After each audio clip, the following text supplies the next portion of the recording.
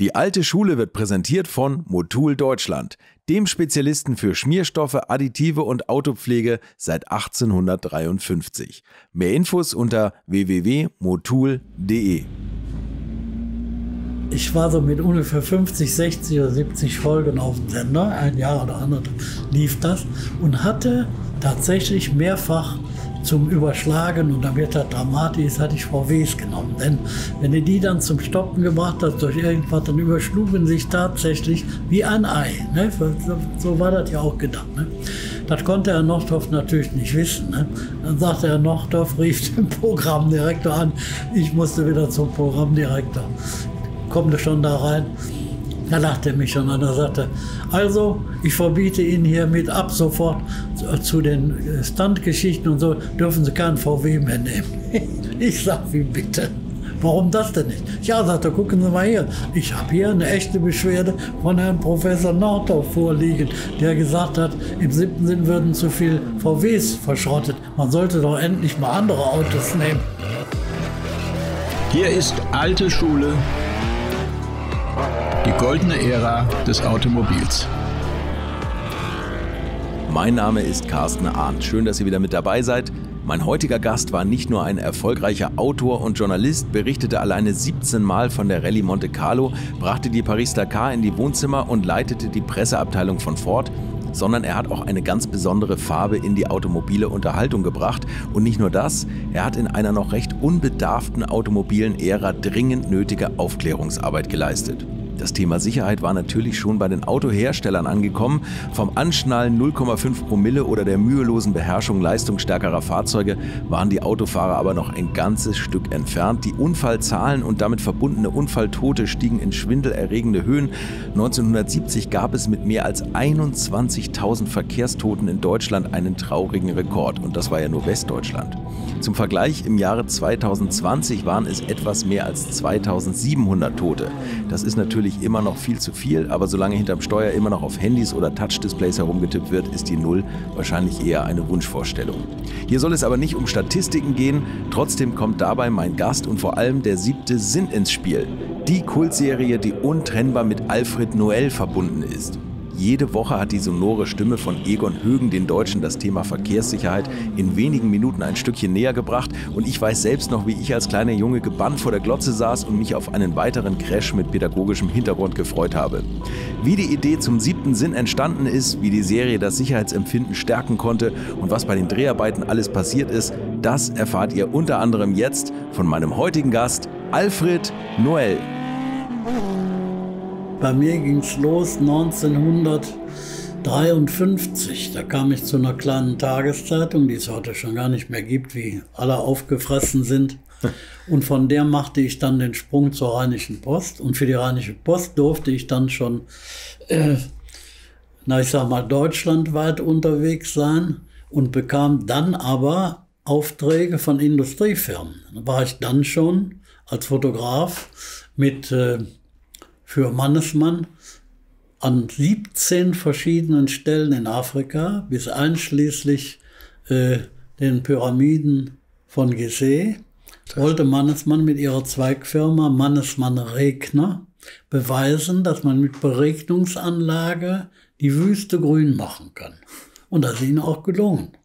Und waren Sie da auch schon für Autos unterwegs oder haben Sie auch schon? Da habe ich für, über Autos habe ich da nur geschrieben. Auf der Seite Technik und Verkehr bei der Rheinischen Post. Ne? Mhm. Da waren die Autos nicht so wichtig. Aber ich bin dann mit einem Auto von Ford, aber meinem eigenen, bin ich dann schon durch ganz Italien, nach Tunesien rüber, durch ganz Tunesien, Libyen, ne, weil auf der Strecke in Laskira in äh, Libyen, da gab es eine Tankerlöschanlage. Ne? Mhm. Und während heute die den Suezkanal schon fast verstopfen mit ihren großen Dingern, war das damals so.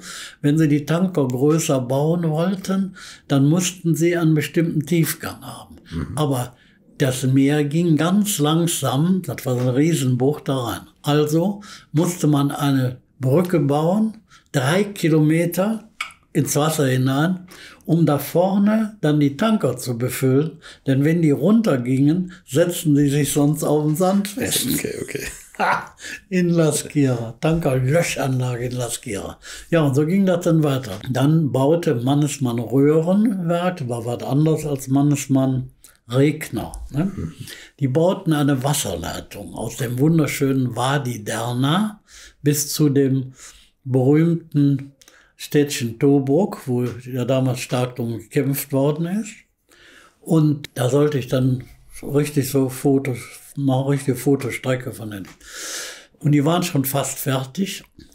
Und ich denke, ach so, ich muss dazu sagen, Tobruk hatte damals eine Meerwasserentsalzungsanlage. Die war aber völlig kaputt und im Krieg dann von den Deutschen sogar noch beschossen worden.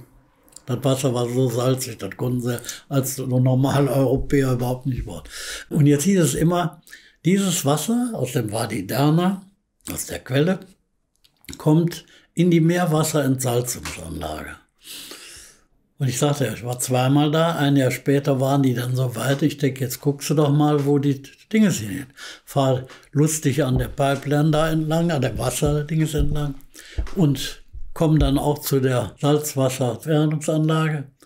Da ist aber mein Rohr gar nicht mehr. Wo ist denn mein Rohr geblieben? Ich wieder zurück und geguckt, da ging das plötzlich mal um die er in die Erde, kam dann aber wieder raus, ging weiter und verschwand dann das Rohr in einer Mauer, die vier Meter oder fünf Meter hoch war. Ich natürlich sofort alle Öhrchen gespitzt. Wo geht denn die Mauer? Was ist das denn für eine Mauer? Was war das? Das war der Palast von Idris el-Senussi, dem damaligen Präsidenten von Libyen noch. Man muss sich mal vorstellen. Unterstützt von den Engländern war der immer noch dran. Und was machten die mit dem wunderschönen Wasser? Da haben die die Parkanlagen mit bewässert. Aber die Meerwasserentsalzungsanlage habe ich natürlich auch wieder einen Sternbericht drüber gemacht. Oh, verrückte Zeit. Na, da hätten sie mich aber beinahe gekapert. Ja, wie ja. denn auch sagen. Davon gehe ich aus. Was Sie rumgekommen sind, das waren ja alles noch beschwerliche Reisen. Ja, ich war schon 59 vor den Pyramiden von Gizeh. Muss man sich mal vorstellen. Ne? Und bin dann das ganze Stück von Düsseldorf aus, also Hilden Düsseldorf, bin ich dann gefahren. Und dann hatte ich einen Freund, der sollte mitfahren. Und wie das dann so bei Freunden ist, drei Wochen vor der Geschichte sagt er mir ab, sagt er, meine Eltern wollen nicht, dass ich da in, nach Afrika und und und. Ne? Wir waren ja alle noch verdammt jung. Und äh, da bin ich zu meinem alten Herrn, zu meinem Vater gegangen. Da habe ich gesagt, du hast da nichts zu tun, du bist da drin. Hast ja keine Lust, mit nach Afrika zu fahren? Ja, sagte sofort. dann bin ich mit meinem Vater gefahren und das war toll, weil ich bin dann äh, einmal bei Nacht auf einen Stein gedonnert, hat mir die ganze Ölwanne aufgeschlagen und dann lief das alles daraus. Wie machen Sie in Afrika 100 Kilometer davor und zurück, keine Werkstatt, keine, da kein, kein Denken dran. Wie kriegen sie das wieder hin, dass sie weiterkommen oder so, ne? Und wenn ich da meinen Vater nicht gehabt hätte, der hatte die dollsten Tricks drauf, ne? Der hat vom Hammer, den wir mit hatten, Gott sei Dank, hat er so ein Stück abgesägt. Davon hat er einen Keil geschnitzt, ne? Mit einem, mit einem tollen Brotmesser. So gut, dass wir das alles hatten. Und dann hat der vom Auto alle Chromzierleisten abgemacht. Ich denke, was macht er denn jetzt? So. Und da war Folgendes, da äh, haben die früher immer durch das Blech hindurch Schrauben gedreht, auf die dann so eine Halterung kam, wo die Chromleisten da draufgeschoben wurden. Aber da, wo drei, vier Millimeter die Schraube aus dem Blech herausragte, mhm. haben die die mit so einem, ich sage jetzt einfach mal, mit so einem Kleber ummantelt, damit die Schraubenenden nicht rosteten. Das wusste ich überhaupt nicht. Ja. Ja.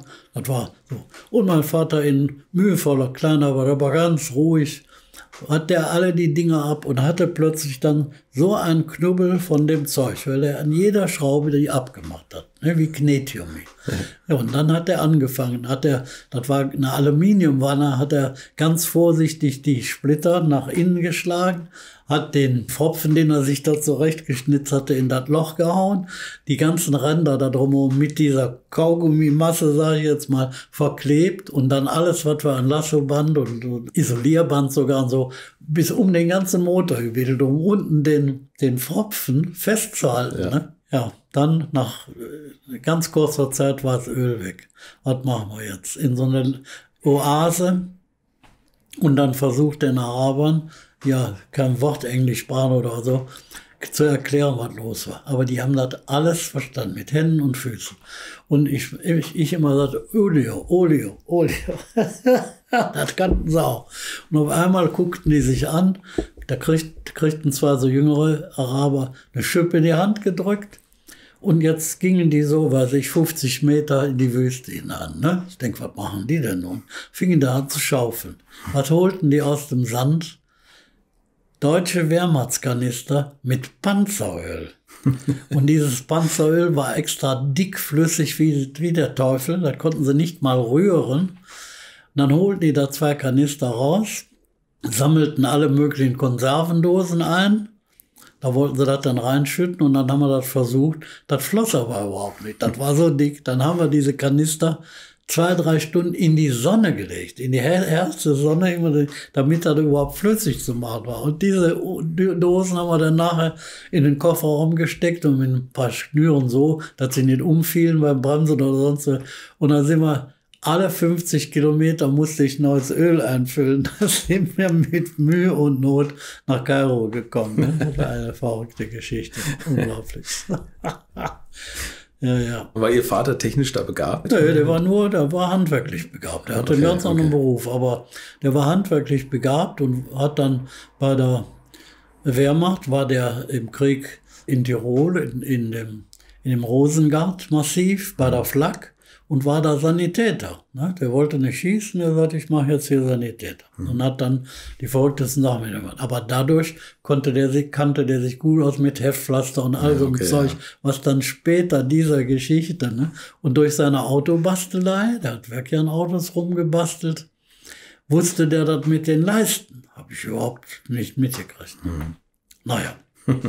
Und wie kam es bei Ihnen dann, dass Sie beim Fernsehen gelandet sind? Weil das war ja ein großer Schritt eigentlich. Oder? Ja, ja. Also ich wollte immer zum Fernsehen. Und ich hatte einen Sparkassendirektor äh, in Hilden, in meiner kleinen Stadt, der immer sagt, Ali, du musst zum Fernsehen. Das ist das neue Medium, da musst du hin. Ja, ich sag, und wie soll ich das machen? Ja, da überleg dir was. Also wenn du Darlehen brauchst für Ausrüstung oder so, kriegst du von mir und so. Ne? Wir waren gut befreundet. So. Aber dass ich dann ankam nach diesem Gespräch mit dem Leiter der Dings, dann habe ich mir eine alte Wevo Pathé gekauft. Äh, ich konnte aber ganz billig kaufen, eine 16 Millimeter. Und damit habe ich dann zwei, diese zwei kleinen Filme gemacht. Und jetzt lachen sich kaputt, was das war. Der eine Film war die Herstellung von den Negerküssen. Ja, aber dann mit den Kindern, die sich dann verschmierten und so richtig schön gemacht. Und die andere Geschichte war, das gibt's heute kaum noch, da hatten sehr viele Handwerker und Leute, die Geschäftslokale hatten, hatten ihren Berufszweig, wenn man so will, auf dem Türgriff verewigt, künstlerisch irgendwie verewigt. Mhm. Ne? Fotograf, so ein, so ein Fotoobjektiv mit drei, drei Stativbeinen und so weiter. Und dann habe ich das äh, habe ich die alle gesucht, habe 20, 25 gefunden. Und dann habe ich da aber einen Trick gemacht. Dann habe ich die Türen immer als äh, Blenden genommen.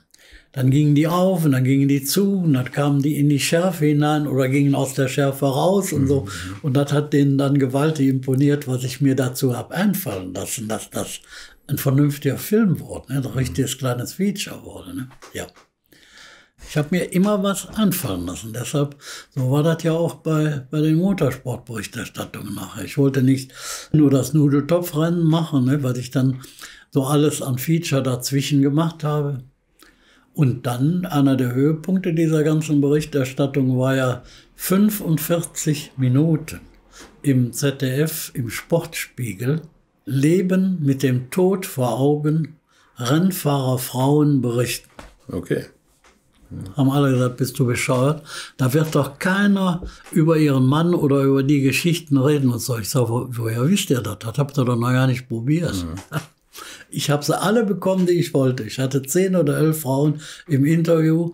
War Wahnsinn. Einer, dessen Frau dann was gesagt hatte, der ist mir heute, nach 50 oder 60 Jahren, ist der mir noch böse, weil ich da äh, seine Frau ein bisschen ab auflaufen lassen und so und so weiter. Kann man sagen, wer es ist? Nein. Doch, kann man. Der berühmte Mann, jetzt bin ich mal gespannt, ob du das ist, der berühmte Mann mit dem Hütchen. Ja, Hans Heyer. Ja, die Frau von Manzai. Okay.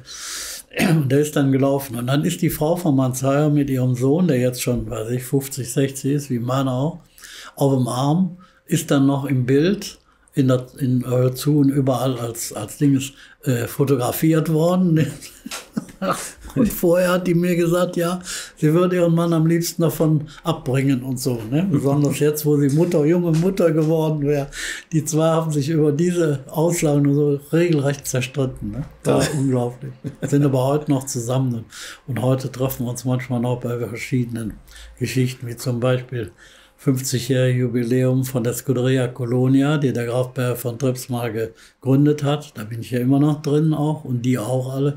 Und da haben wir uns alle noch kaputt gelacht über die Geschichten, haben uns alle wieder getroffen. Ne? Da ist jetzt gerade ein Name gefallen, den Graf Berge von Trips. Das war auch ein Wegbegleiter oder mit dem war sie auch eng befreundet eigentlich. Ja, ne? ich war da befreundet, also nur bekannt, nicht befreundet. Bekannt, ich muss ja, okay. das alles schon auseinander. Denn das war da so eine Geschichte, die sich ja später dann erst aufgeklärt hat. Der fuhr auf Tornax, einer, einem Motorrad, was hier in Wuppertal-Langerfeld gebaut wurde. Mhm. Und auf der fuhr ich auch.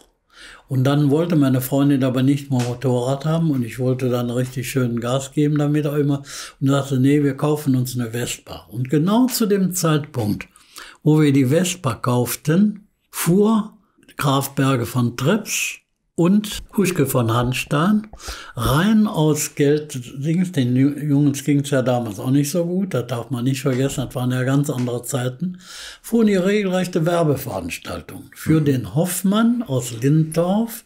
Hoffmann war der äh, Lizenznehmer von der Vespa von Piaggio in Dings und hat nach drei Jahren das ganze Ding äh, abgenommen bekommen, weil er nämlich an der Vespa Veränderungen gemacht hatte, der Hoffmann. Aber der war ganz schlau.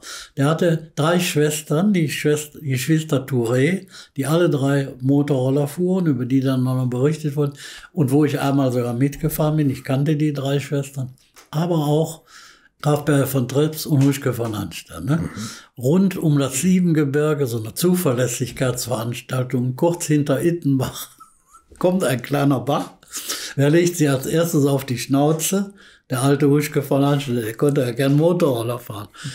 Der Ding ist, der hat da schon viel Gelände gemacht, der fuhr dann da durch und ich kam auch durch. Ne? So, und auf die Art und Weise. Ich wusste doch gar nicht, wer das war, denn der fuhr ja dann auch unter einem Pseudonym. Das Pseudonym habe ich sogar mal gewusst.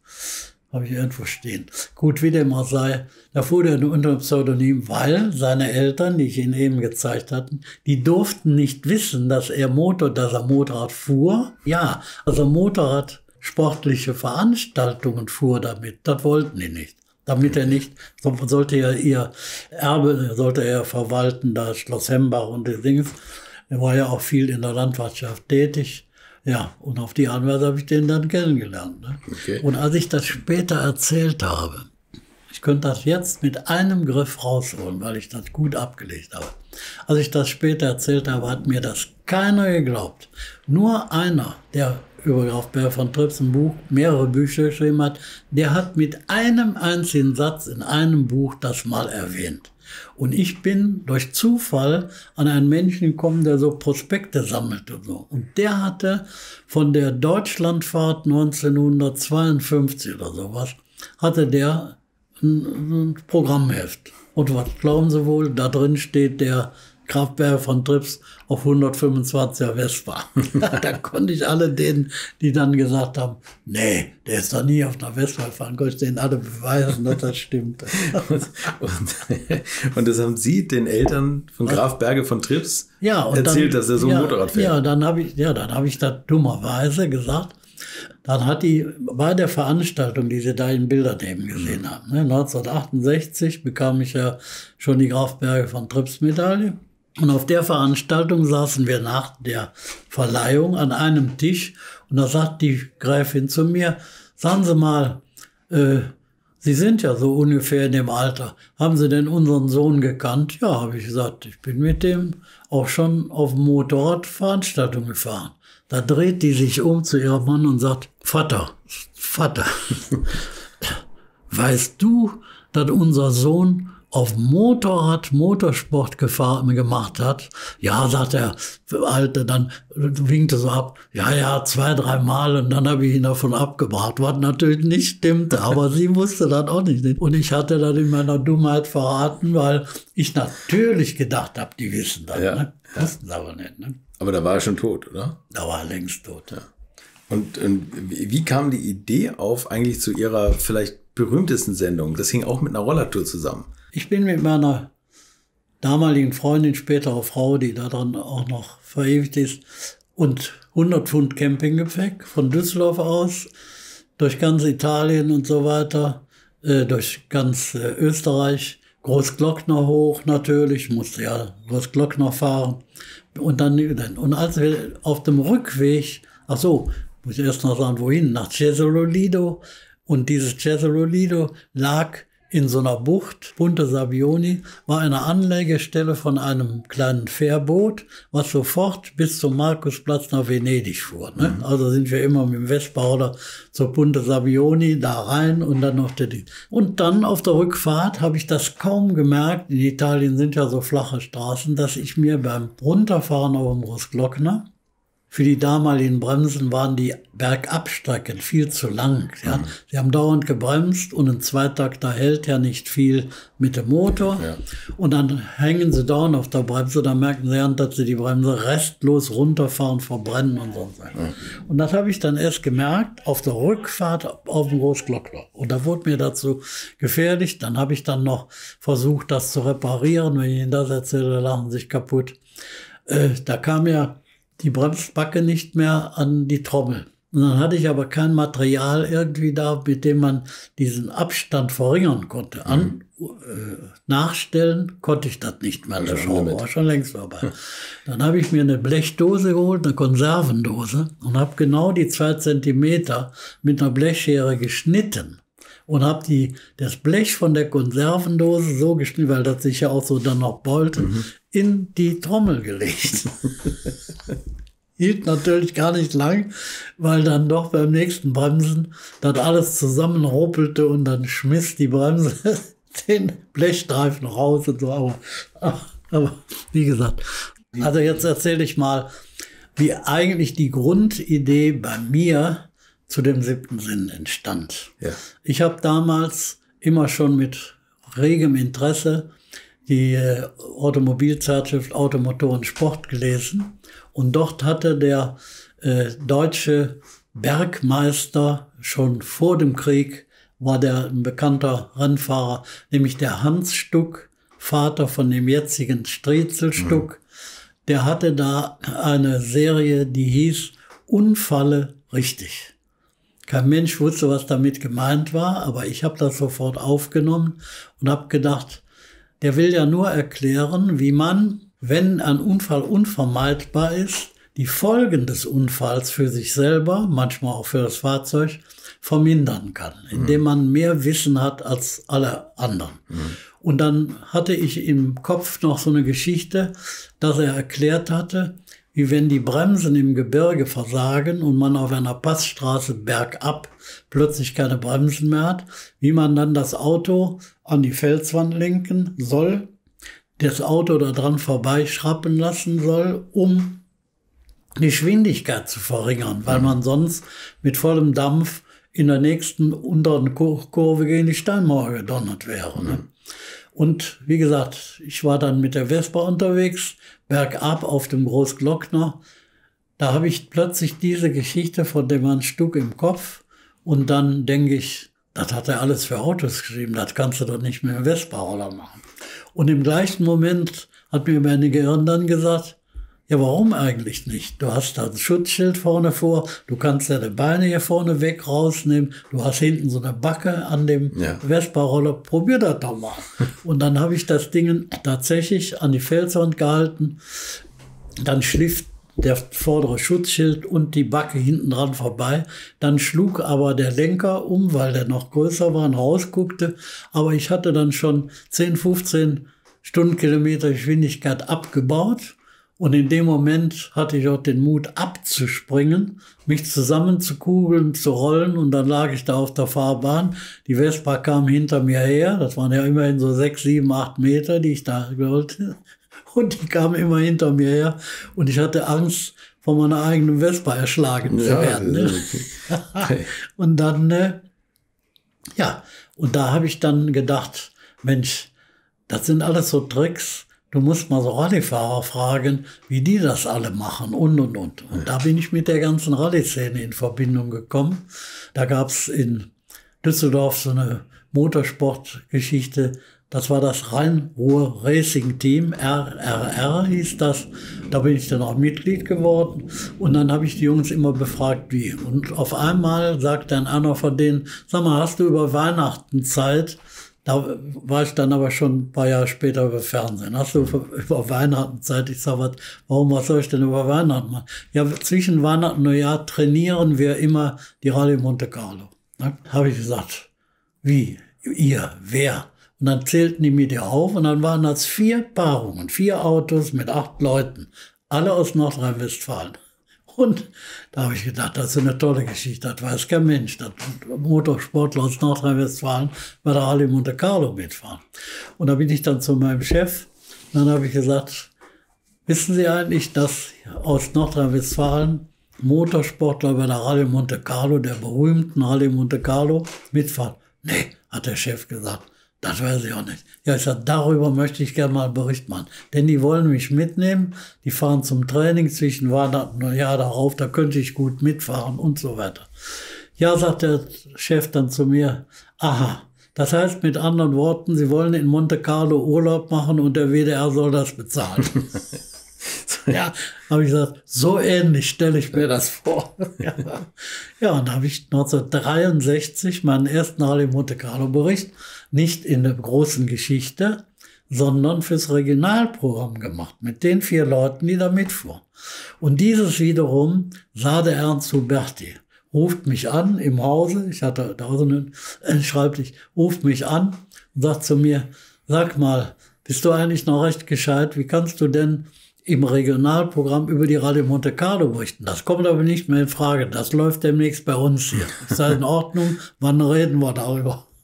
Ab da habe ich dann, wie viel Mal? 16 Mal, 15 oder 16 Mal die Radio Monte Carlo, über die Radio Monte Carlo berichtet. Da haben Sie ja einiges erlebt, von 65 an bis 80. Da haben Sie ja den Aufstieg von Walter Röll noch miterlebt. Ja, ja da habe ich also jetzt ist das anders, kann ich sagen. Aber wenn ich Ihnen die Bilder zeige, die ich von Walter Röll nicht, ich habe ihn nicht miterlebt, sondern ich habe Walter Röll richtig mit aufgebaut. Da gibt's also Dankeschreiben drüber und so. Und zwar, der fuhr ja auf Opel ja. und ich kannte den damaligen Rennleiter, den Hellebein, ja. kannte ich sehr gut von Opel. Und dann sagt er zu mir, du musst dich mal hier ein bisschen um den Dinges kümmern. Und da fuhr der Walter Röll noch mit seinem allerersten Beifahrer mit dem Jochen Berger. Und da habe ich gesagt, ja, ist in Ordnung. Wo treffe ich den? Wo fahrt ihr hin? Wo sind die Punkte? Wo können wir uns treffen und so? Und da habe ich mein allererstes Interview mit Walter Röhrl gemacht.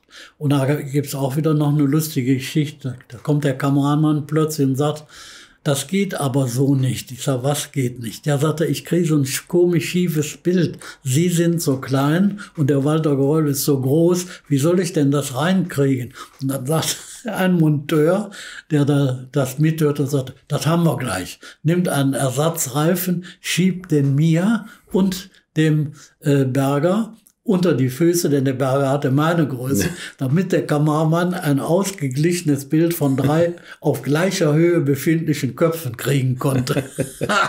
und davon gibt's ein Foto.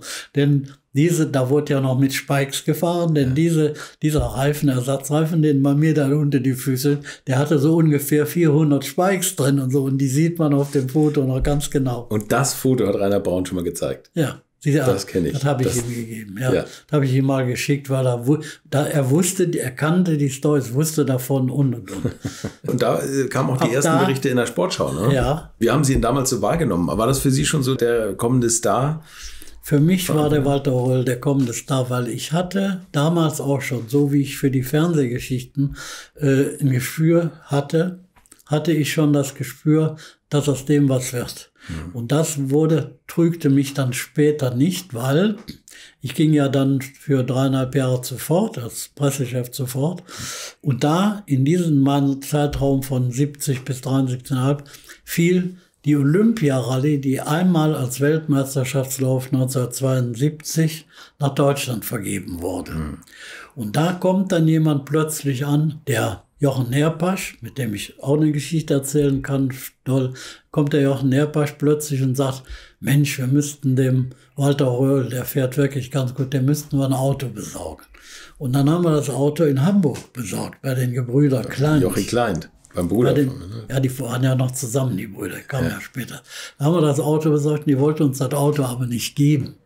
Und dann sagt der Jochen Nerpass, sagt dann zu mir, du musst das Auto kaufen. Das heißt, du hast das noch im Budget, ich darf das nicht. Ich darf alle Rennautos bestücken, aber ich darf kein Rallyeauto finanzieren. Das machen die Engländer. Die fuhren ja dann auf Escort und ja. so.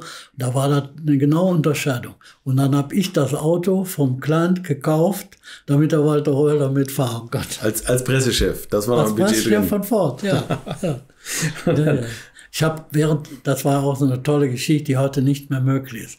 Ich hatte so einen sauberen Namen, dass ich jetzt Ford nicht in den Vordergrund stellen würde, dass ich während dieser dreieinhalb Ford-Jahre für die ARD und für die Sportschau weiter Motorsportberichterstattung betreiben konnte, als Pressechef von Ford. Da habe ich natürlich große Probleme gehabt, weil ich dann, ich wollte ja nicht auffallen und habe dann Ford weniger reingenommen, als ich es eigentlich hätte gekonnt. Mhm. Das ist so ja den Leuten dann beim, bei der Sportschau aufgefallen. Ich habe gesagt, jetzt sehen wir überhaupt kein Ford mehr. Das geht auch nicht, Junge. dann habe ich gesagt, okay, da machen wir einen wunderschönen Feature, da müsst ihr mir nur Sendezeit, geht ja immer, ging immer nur um die Sendezeit, um mehr oder weniger. Ne? Da, da will ich 15 Minuten Sendezeit haben und dann mache ich ein wunderschönes Porträt über den Jackie Stewart.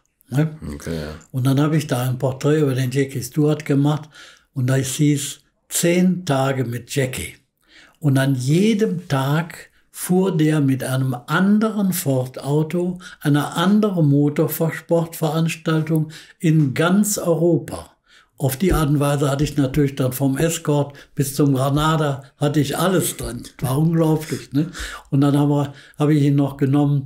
Der war ja, der Stuart war ja in der schottischen Nationalmannschaft der Tontaubenschützen in der Nationalmannschaft. Mhm. Und als er dann Motorsport betrieben hat, ist er da nicht weg, hatte aber die ganzen Gewehre noch.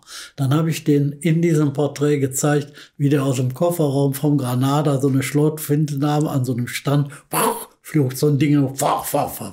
Und dann haben wir ihn dazu gekriegt und dann hat er bei der Olympiade 1972 seine ehemaligen Kollegen aus der äh, Tontaubenhilde hat er am Stand besucht, als die dran waren zum mhm. Schießen.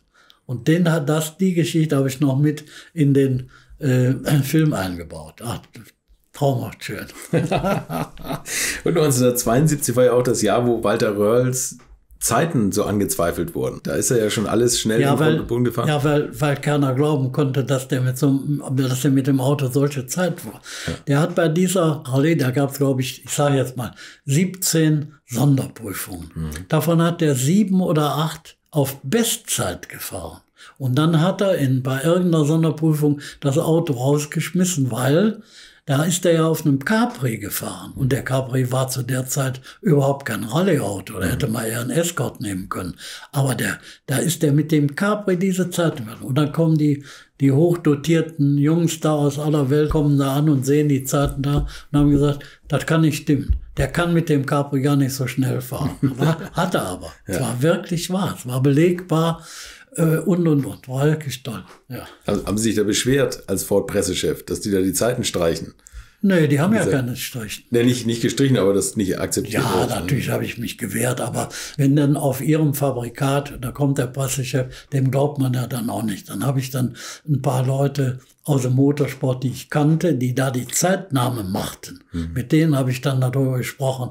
Ich sage, Jungs, ihr müsst euch wehren, ihr müsst, ihr könnt doch nicht einfach auf euch sitzen lassen, ihr hättet die Stoppuhr falsch gedrückt oder sowas. Und dann haben die gesagt, nein, die Zeiten sind richtig und wir bleiben dabei. So so, so ist das dann so ausgegangen überhaupt. Ne? Aber das war richtig Krawall.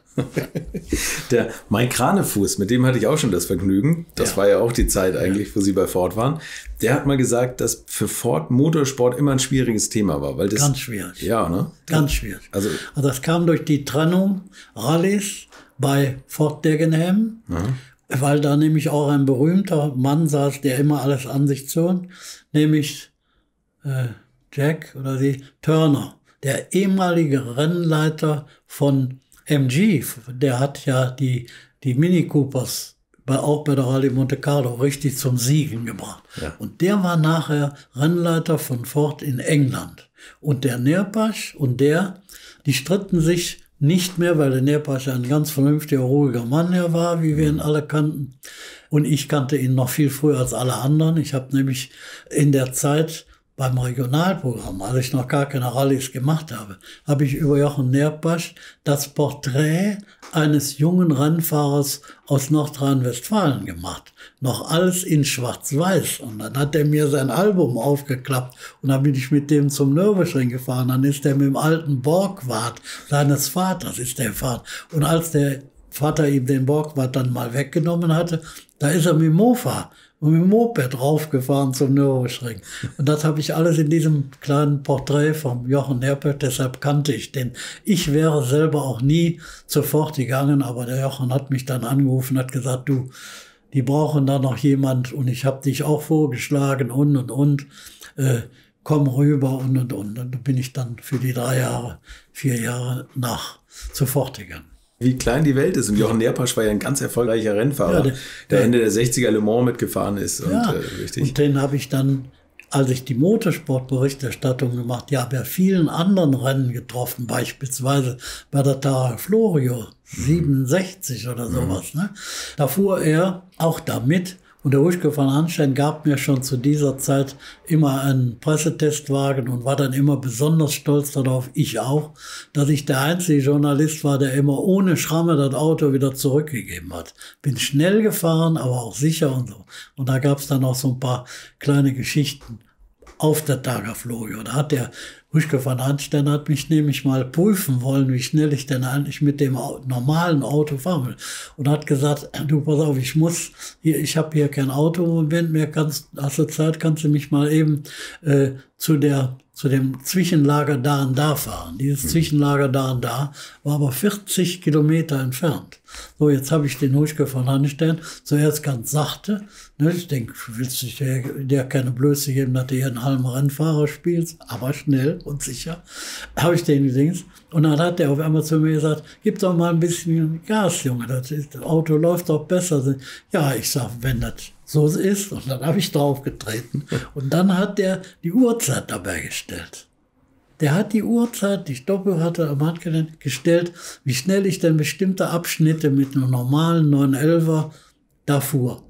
Und nachher kommt er zu mir, sagt er, weißt du eigentlich, wie schnell du warst auf der Strecke? Nee, sag ich, ich habe ja nicht gestoppt. Er sagte, sagt der ruhig gewonnen, aber ich. ja, und da kannte ich den Jochen ja auch schon längst. Ne? Ich habe 1967, äh, habe dem Jochen vor kurzem ein Foto, zwei Fotos geschickt, die er selber nicht hatte. Da stellte äh, Huschke von Hanstein und der Ferry Porsche stellten die Rennmannschaft, die wurde ja jedes Jahr ausgewechselt, für 1967 vor. Und da ist der Jochen Nerpasch drauf und da habe ich die alle zusammen. Und dann habe ich das jetzt nach, weiß ich, 25, 30 Jahren das Bild mal angeguckt und habe dem Jochen das geschickt und habe gesagt, was fällt dir da dran auf? Die ganze Rennmannschaft, wie viel waren das? 10, 11 Leute, die waren alle tot, außer Jochen Nerpasch. Okay, Und da hat er gesagt, das ist ja unglaublich, das stimmt. Das waren ja da alle Joe Siffert und äh, Mitter. Und alle, die in der Porsche-Rennmannschaft waren, waren im Laufe der nächsten Jahre, dann nach dem Foto, nach und nach alle auf der Rennstrecke gestorben. Und dann habe ich dem das Foto geschickt, da ist wirklich jedem. Wir trafen uns dann mal. Dann habe ich dem auch gesagt, ja, ja, Meister. Das sind so die Zufälle, ne? Ja, das sind Zufälle. Die sind im Grunde genommen, sage ich Ihnen aber ehrlich, sind keine Zufälle. Weil wenn man so mit Leib und Seele da drin ist, wie ich das war, mhm. hat man auch immer vorausgedacht. Was kannst du machen? Was brauchst du dafür? Wem, wessen Hilfe brauchst du jetzt? Wer kann dir überhaupt helfen? und, und, und. Mhm. Das war ja nachher noch viel schlimmer, als ich dann immer, ich habe ja alleine neunmal über die East African Safari Rally berichtet. Ne? Das Material pünktlich nach Hause zu kriegen, damit ich am Ostermontag pünktlich auf dem Sender war. Ich musste ja nach Hause kommen, äh, das Material sichten, schneiden, texten, um dann auf dem Sender zu sein. Und was glauben Sie wohl? Ich habe keinen einen Sendetermin verpasst. Ich war immer pünktlich zu Hause. Und der Ernst Huberti hat dann mal gesagt zu mir, sag mal, wie machst du das eigentlich? Ja, sag ich, ich habe drei Pläne. Einen normalen Plan, einen Nassplan und einen Reserveplan. Ja, jetzt muss, sagt er zu mir, du musst jetzt mir aber mal erklären, was ist der Nassplan? Ja, ich sag, die Veranstaltung findet immer in der Regenzeit statt. Und was sich da abspielt mit Regen, Schlamm und Zeug, das kann, könnt ihr euch gar nicht vorstellen. Weil dann nämlich manchmal auf dem Flughafen von Entebbe oder in Nairobi sogar manche Flugzeuge nicht landen konnten, sondern noch eine Runde oder zwei gedreht haben, bis die Gewitterschauer vorbei war. Das war unglaublich. Und äh, er sagte, und der dritte Plan, was der? Ich sagte, das ist mein Reserveplan. Wenn nass und trocken nicht klappen, dann muss der Reserveplan passen. Und da haben wir das Material in Beutel gepackt sind zum Flughafen gerast und der Pilot, die Piloten kannten uns schon alle, ne? Und das haben dann auch meine Assistenten gemacht und so. Und dann haben wir in den Beutel, weil durften wir nicht offiziell, warum weiß ich heute nicht mehr, aber wir durften das nicht so offiziell, da haben wir das an, am, am äh, Flugloch des Piloten, an dem Fenster, mhm. bis zu dem Fenster hochgeworfen und dann haben die nur den Beutel geschnappt und haben den mitgenommen. Und in Köln mussten die die an einer bestimmten Stelle abgeben. Da saß dann aber schon jemand vom WDR und holte das ab. Ne? Ja. Unglaublich. Und, und, das war aber ja damals nicht so, wie, wie, wie wir das heute kennen, wo man draufhält, im Zweifel mit dem Handy, sondern das musste erst noch entwickelt werden. Also das Sie haben. Das war 16 mm Film. Ich ja. habe ja noch mit Schwarz-Weiß angefangen. Ne? Ja. Die erste farbige Geschichte in der Sportschau habe ich auch gemacht. Das war dann die tausendste Sportschau-Sendung und wir bekamen die Genehmigung, äh, 17 Minuten farbig in der Sportschau zu sein. Und da lief gerade das 1000 Kilometer Rennen auf dem Nürburgring. Mhm. Und dann sagte Ernst, wie schaffst du das denn? Wir haben nämlich überhaupt gar keine Entwicklungsmaschine für Farbmaterial. Ich sag, was? Ja, sagte, du musst mit dem gesamten Farbmaterial zum Entwicklungswerk Hadeco in Neuss. Oh, ich sag, das ist aber lustig. Und wie kriege ich dann das Material dahin? Ja, sagt er, muss ich mit denen in Verbindung setzen. Die haben nämlich noch ein Problem. Du darfst nämlich nur 15 Meter rollen. Das waren ja 30 Meter immer. 15 Meter rollen, denn die Maschine entwickelte in so und so viel Minuten nur so und so viel Meter. Und dann ging das los. Alle, die Kammerleute, sechs, sieben Kammerleute, äh, rund um den Nürburgring verteilt, die durften alle nur 15 Meter von ihrer 30 Meter Rolle. Und einer kam dann an und hat, ja, ich habe einfach weitergedreht. Ich sag, du Idiot, du solltest bei 15 aufhören. Dann habe ich die Rolle genommen, die 30 Millimeter Rolle, habe über die Schulter geguckt und habe die Rolle rückwärts in den Busch gedenkt. Der wollte, der Kameramann wollte mich bald erschlagen. Ich sag, wer nicht ganz konsequent hier das macht, was ich sage, damit das auch klappt und mir dann die Möglichkeit vernimmt und der Sender die Möglichkeit nimmt, das zu machen, weil du zu viel Material hast oder so. Ne? Ja. Da, sind, da haben sich Sachen abgespielt, das war unglaublich. Und dann anlässlich dieses 1000 Kilometer beim Training, da kommt plötzlich der Erich Bitter an. Und der Erich Bitter, und ich nehme an, das Foto haben Sie beim reinen Auge gesehen, und der Erich Bitter flüsterte mir dann ins Ohr, pass mal auf, ich habe da eine ganz neue dolle Faser, so eine Durex-Faser für die Rennanzüge. Der hält 20 oder 30 Sekunden die Hitze weg. Und das wollen wir mal zeigen. Oh, ist ja wunderbar. Habe ich eine tolle Idee. Du stellst sie in so ein Ölfass auf so einen Hohlblockstein, damit du hoch genug stehst. Nein, sag ich, da nehme ich ein Stuntman von mir.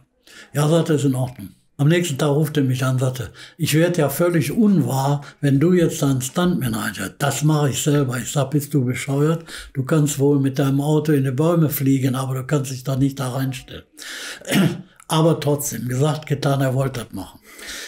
Öl unten in der Wanne angezündet, er steht völlig, mit Dings steht da drin.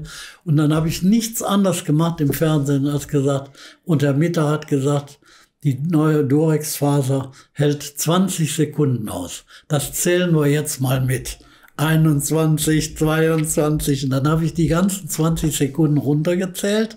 Und genau in der 20. Sekunde oder so springt der ganz entsetzt da raus. Und ich denke, was dann da los? Der, der Anzug war voll in Ordnung. Mhm. Aber hier um den Hals herum hatte der plötzlich so kleine züngelnde Flammen. Und was war geschehen? Kein Mensch hatte daran gedacht, dass das Kunststoffzeug im Helm anfing zu brennen, weil die Flammen ja von unten kamen, da drunter gingen. Der riss sich wie so ein Irrer den Helm vom Kopf und den Dings. Der Anzug hatte das ausgehalten, wie er gesagt hat, aber der Helm nicht. Und Sie haben es gefilmt? Ich habe das gefilmt. Das war überhaupt eine Story dass ich den Auftrag überhaupt bekam, das erst, die erste Farbgeschichte zu machen, weil sie da alle schon so viel Vertrauen zu mir hatten. Und dann das Farbkopierwerk und Entwicklungswerk in Neuss. Dann habe ich einen Plan angelegt und benötigte sechs oder sieben Kameraleute um das Dinges. Und dann benötigte ich aber sechs bis acht Motorradfahrer, die hatten, hatte der WDR allerdings. Und die mussten dann genau auf meine Zeichnung und Dinge hin, bei dem, bei dem, bei dem das Material abholen, runter nach Neues fahren zu dem Entwicklungswerk, in die Entwicklung geben, umdrehen und wieder zurückkommen. Und dass das immer so ein Kreislauf war. Mhm. Ich habe für diese Story, die 17 Minuten dauert, habe ich über 40 Leute benötigen müssen. Denn da war ja auch noch die ganze Mannschaft von dem Kopierwerk, da waren die Motorradfahrer, da waren die Kameraleute mit ihren Assistenten und dann kam ja noch dazu, dass drei, vier Schneideräume extra für mich freigehalten wurde. Dann bin ich von Schneiderraum zu Schneiderraum gerannt und dann habe ich gesagt, Ute, nimm das, mach da. Und dann haben wir das zusammengekriegt. Und dann war die wirklich für mich dann eine ganz tolle Geschichte wieder. Da wollte sich der damalige Intendant den ersten Farbfilm, tagesaktuell, ging ja um die Tagesaktualität, mhm. wollte er sich nicht entgehen lassen. Und dann kam der in den Regieraum während die Sportschau lief und so und hat mir dann eine Hand gegeben und sagt, als er, als er gelaufen ist, sagt, ja, ist ja toll, was sie mit Farbe alles machen können und so. Und das war der berühmte Intendant von Bismarck. Kein Mensch erinnert sich heute daran, dass der auch mal Intendant ist, wie der aussah. Hätte ich auch nicht gewusst. Aber wenn Sie das schon sagen mit den 40 Leuten, damals war Fernsehen eine richtig teure Geschichte, oder? Das, da hat ja die Sendeminute ein Wahnsinnsgeld verschlungen. Ja, das, das, die Geschichte mit dem Geld wird immer überschätzt. Das Problem war, in dem Falle war das die tausendste Sendung. Das war, da hatte die Redaktion auch richtig Geld für die Feier und für die ganze Geschichte kommen. Mhm. Und dann hat der Ernst Hubertian natürlich gesagt, ja, und außerdem kommen wir mit einem Highlight. Wir werden die erste tagesaktuelle Farbreportage vom Nürburgring bringen. Alles begeistert. Boah, toll. Ja, und da passiert auch was. Das hat er mir noch nicht so genau erklärt, äh, der Alfred, aber der will da irgendwas ganz Farbiges, Spektakuläres machen. Das war dann die Geschichte mit Erich Bitter. Ne?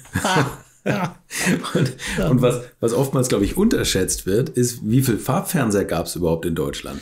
Zu dem Zeitpunkt gab es also ich kann mich jetzt nicht auf eine genaue Zahl festlegen, aber es gab so wenige, dass man im Grunde genommen den Start vom Farbfernsehen immer weiter herausgezögert hat, weil man immer gesagt hat, wir müssen ja erst, müssen die Leute erstmal kaufen und ab einer Menge von XY, die ich jetzt nicht kannte, mhm. da gehen wir dann Stück für Stück mit Farbe auf dem Fernsehen. Das heißt, da wurde vorher immer nur gewaltig Werbung davon gemacht. Wir starten demnächst mit dem Farbfernsehen. Mhm. Immer dieses Henne-Ei-Problem. Ne? Es lohnt sich nicht anzufangen, wenn keiner die Geräte hat und keiner kauft ein Gerät, wenn es nicht gesendet wird. Ja.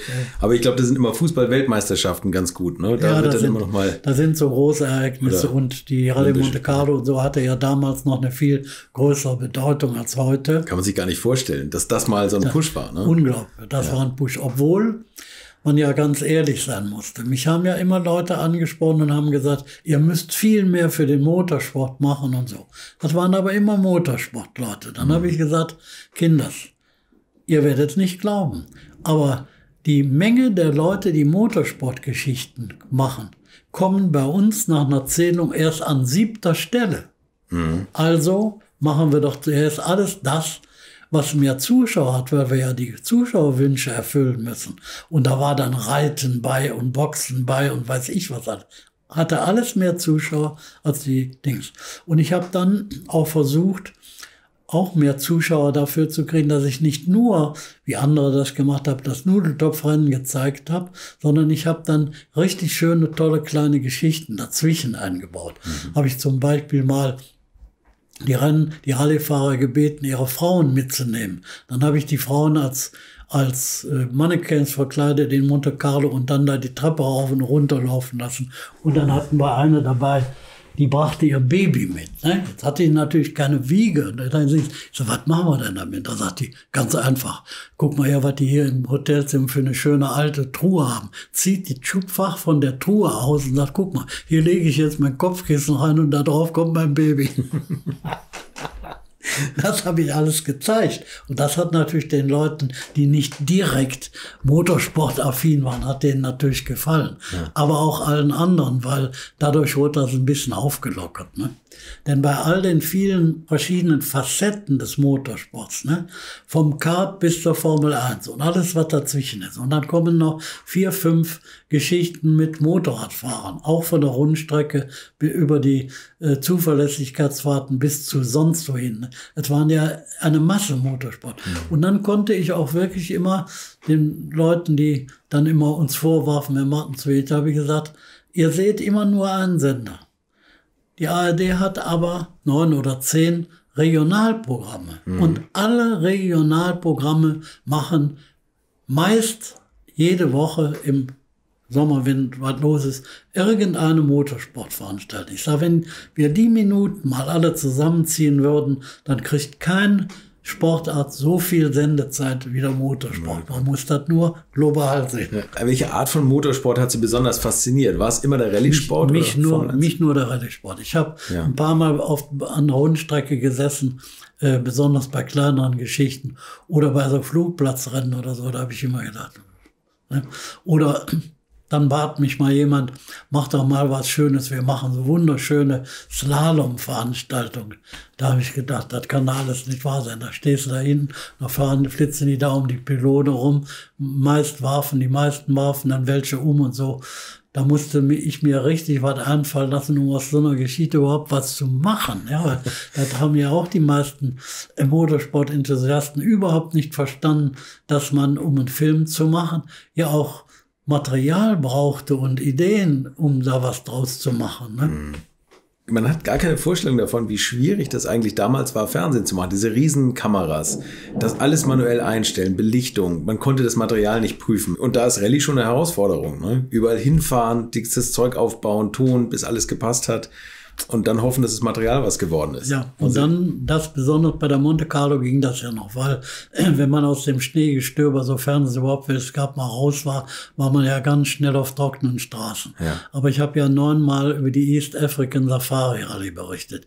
Was sich da abgespielt hat an Staub, an Dreck, ja, ja. an verdrecktem Material. Wir mussten nachher die Kameras mit Lassoband richtig außenrum abkleben und mussten um die Objektive Objektive herum, weil durch die Objektivkanäle, das waren ja Wechselobjektive und die hatten ja, sagen wir mal, ein Mühe äh, äh, Luft. Ne? Ja, klar. Und durch diese kleinen Dinger kam Sand in die. Ich habe eine Geschichte mal gehabt, da kam ich nach Hause. Ich hatte ja immer zwei oder drei Kameraleute mit oder mhm. Teams mit.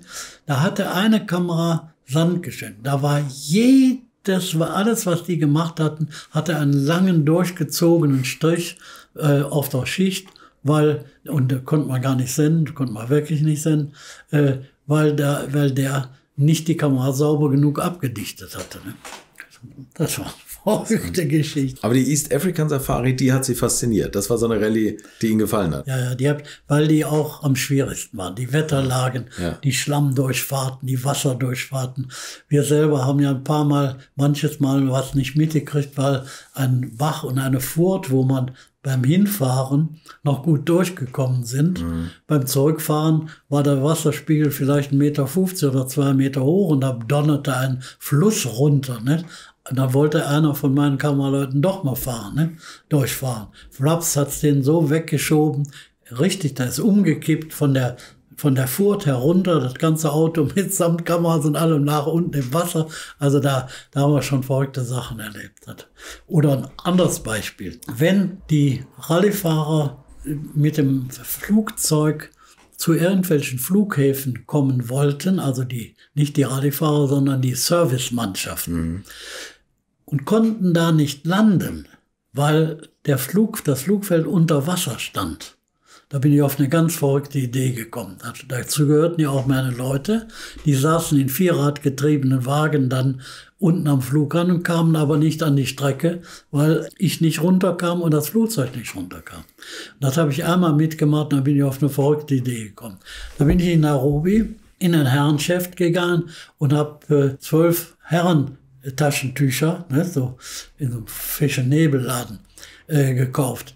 Dann bin ich in den nächsten Einkaufsladen gegangen, habe eine Rolle Schnur, also Kordel gekauft. Dann habe ich in einem anderen Laden, habe ich Einmachgläser Gummis von den 1 Liter Einmachgläser, die es in Nairobi genauso gab wie in Deutschland, die ich von meiner Oma kannte, habe ich da die Gummis genommen. Und dann habe ich Folgendes gemacht. Dann habe ich nachts im Hotelzimmer aus diesen Utensilien Fallschirme gebastelt, kleine Fallschirme.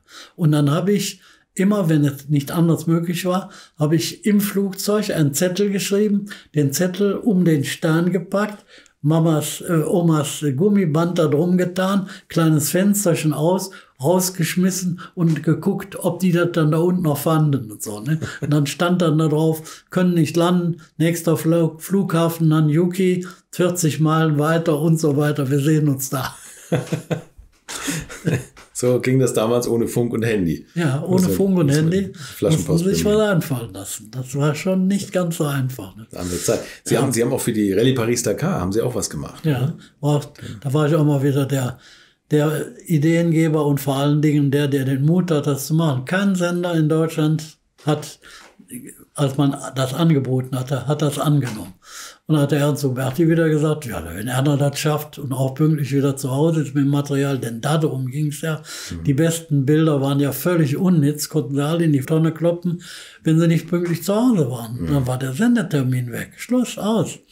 So, dann hat er gesagt, das kann nur der Ali, wenn überhaupt. Und dann habe ich 1984 als einer der ersten Europäer oder über, sagen wir besser als Deutscher einen Bericht über die Paris-Dakar gemacht. Auch mit den verrücktesten Geschichten. Ein Jahr später stürzte der Veranstalter, der Pierre Savien, stürzte mit dem Flugzeug ab. Was war passiert? Die flogen ja alle so nah, um die Leute und auch die Motorradfahrer so mit der Kamera kriegen zu können. Und der hatte auch ein Kamerateam an Bord. Und dann hat der Pilot eine zu enge Kurve gefahren und ist mit einem, mit einem Flügel ganz leicht an eine Düne gekommen, Sanddüne gekommen, die er völlig in der Höhe unterschätzt hatte. Ja, dann hat sich das Ding gedreht, rund, fort, aus. Da ist der Pierre Sabien ja auch tot geblieben. Ja, das hat mir der Just Capito erzählt, der Ja, mit dem der- befreundet war. Der, der, der Capito, der müsste mich auch noch kennen, denn den habe ich ja zweimal begleitet. Ja. Als der einmal auf Motorrad fuhr und als er später auf Unimog fuhr. Genau, da haben sie ja gewonnen. Ja, die Unimog-Wertung, nicht die Rallye. Nee, genau, ja. Ja. Und dann bin ich mit dem, unten- mit dem Kapitol hier in so ein Sternbuch gefahren, weil ich gesagt habe, in dieser Eile und dieser Hektik und in diesem Schlagen kriegt kein Kameramann den Kopf vom Fahrer mal ruhig drauf. Haben wir die alle hier in einem Sternbuch gedreht und die haben wir später alle dazwischen geschnitten. Passten auch alle. die Bilder, die haben Sie von den Fahrern im Steinbruch gedreht. Ja, Hier. Die, die, die ruhigen Köpfe beim Fahren, ne? zwar dann auch so ein bisschen gemacht, als wenn es uneben wäre, aber die haben auch einen Steinbruch gedreht. Ja. Was für Tricks da gearbeitet wurden. Ja, ja, musste doch. Du konntest bestimmte Dinge mit den großen Kameras und mit den Kameras überhaupt und mit Filmmaterial, die konntest du nicht schaffen, wenn du dir da nicht was einfallen ließ. Ne? Und ich habe mir immer was einfallen lassen. Da erzähle ich noch eine ganz andere Story. Bei der Targa Florio kam ich an, hatte mein ganzes Material, musste man ja immer verzollen. Hatte ich hier, da hatte ich ein Carnet mit für die Menge der Mann ja. und musste das dann verzollen. Und äh, jetzt, beim, als die Veranstaltung vorbei war, die über zu Rolf Stommel aus Köln gewonnen hat, dann komme ich wieder an die Zollstelle an der Italienisch an, an die Carabinieri. Sizilien, man darf das nicht vergessen, Mafia, hoch drei. Ne?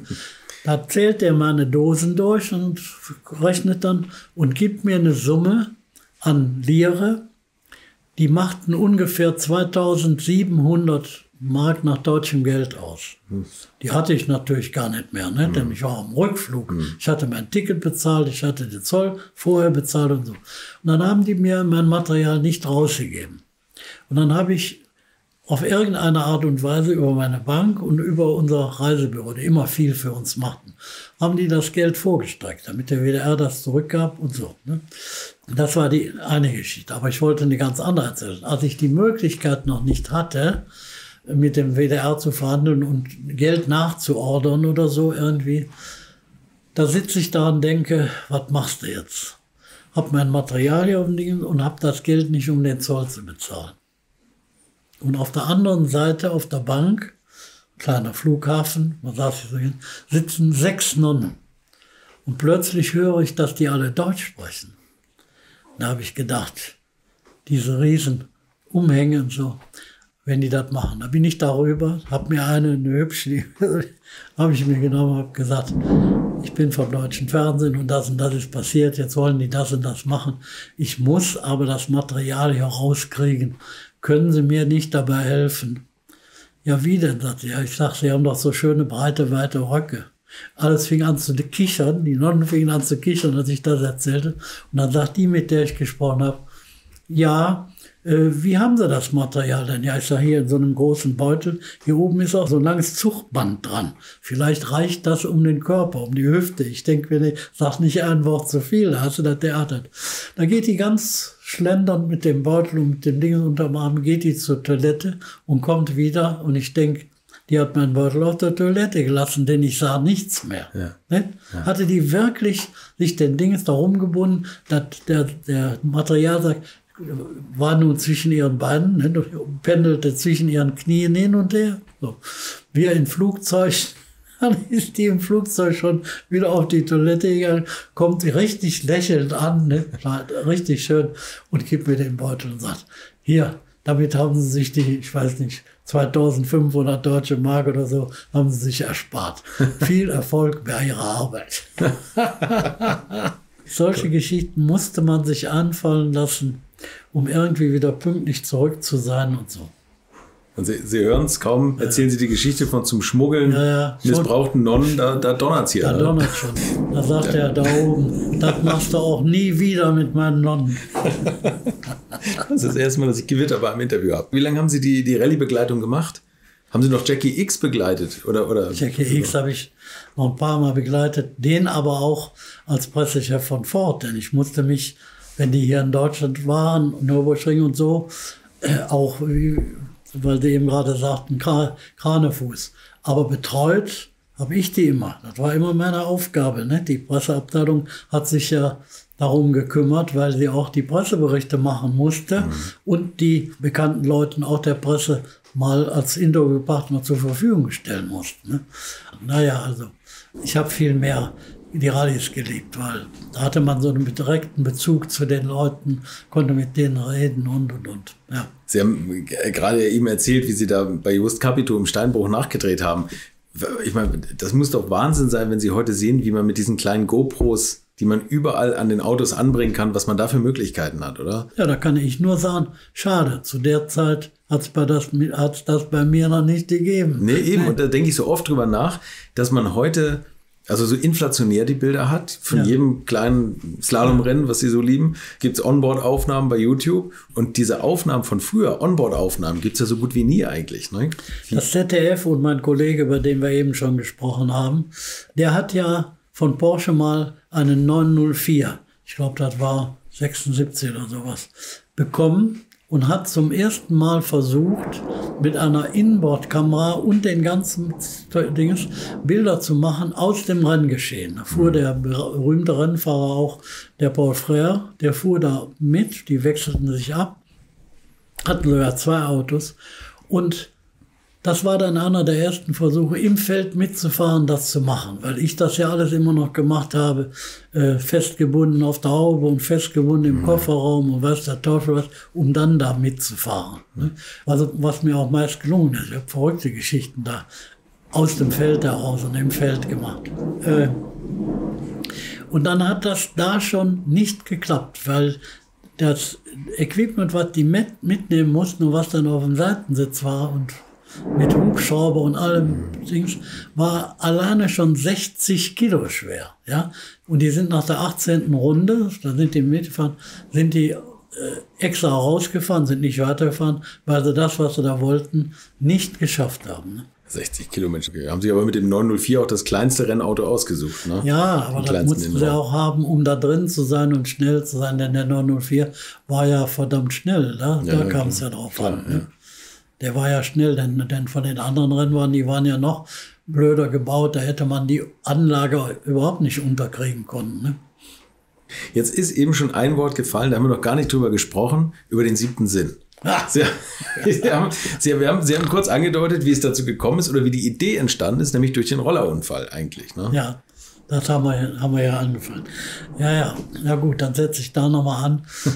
Ich hatte ja, wie ich schon gesagt habe, im Regionalprogramm eine Serie, die hieß Menschen im Verkehr.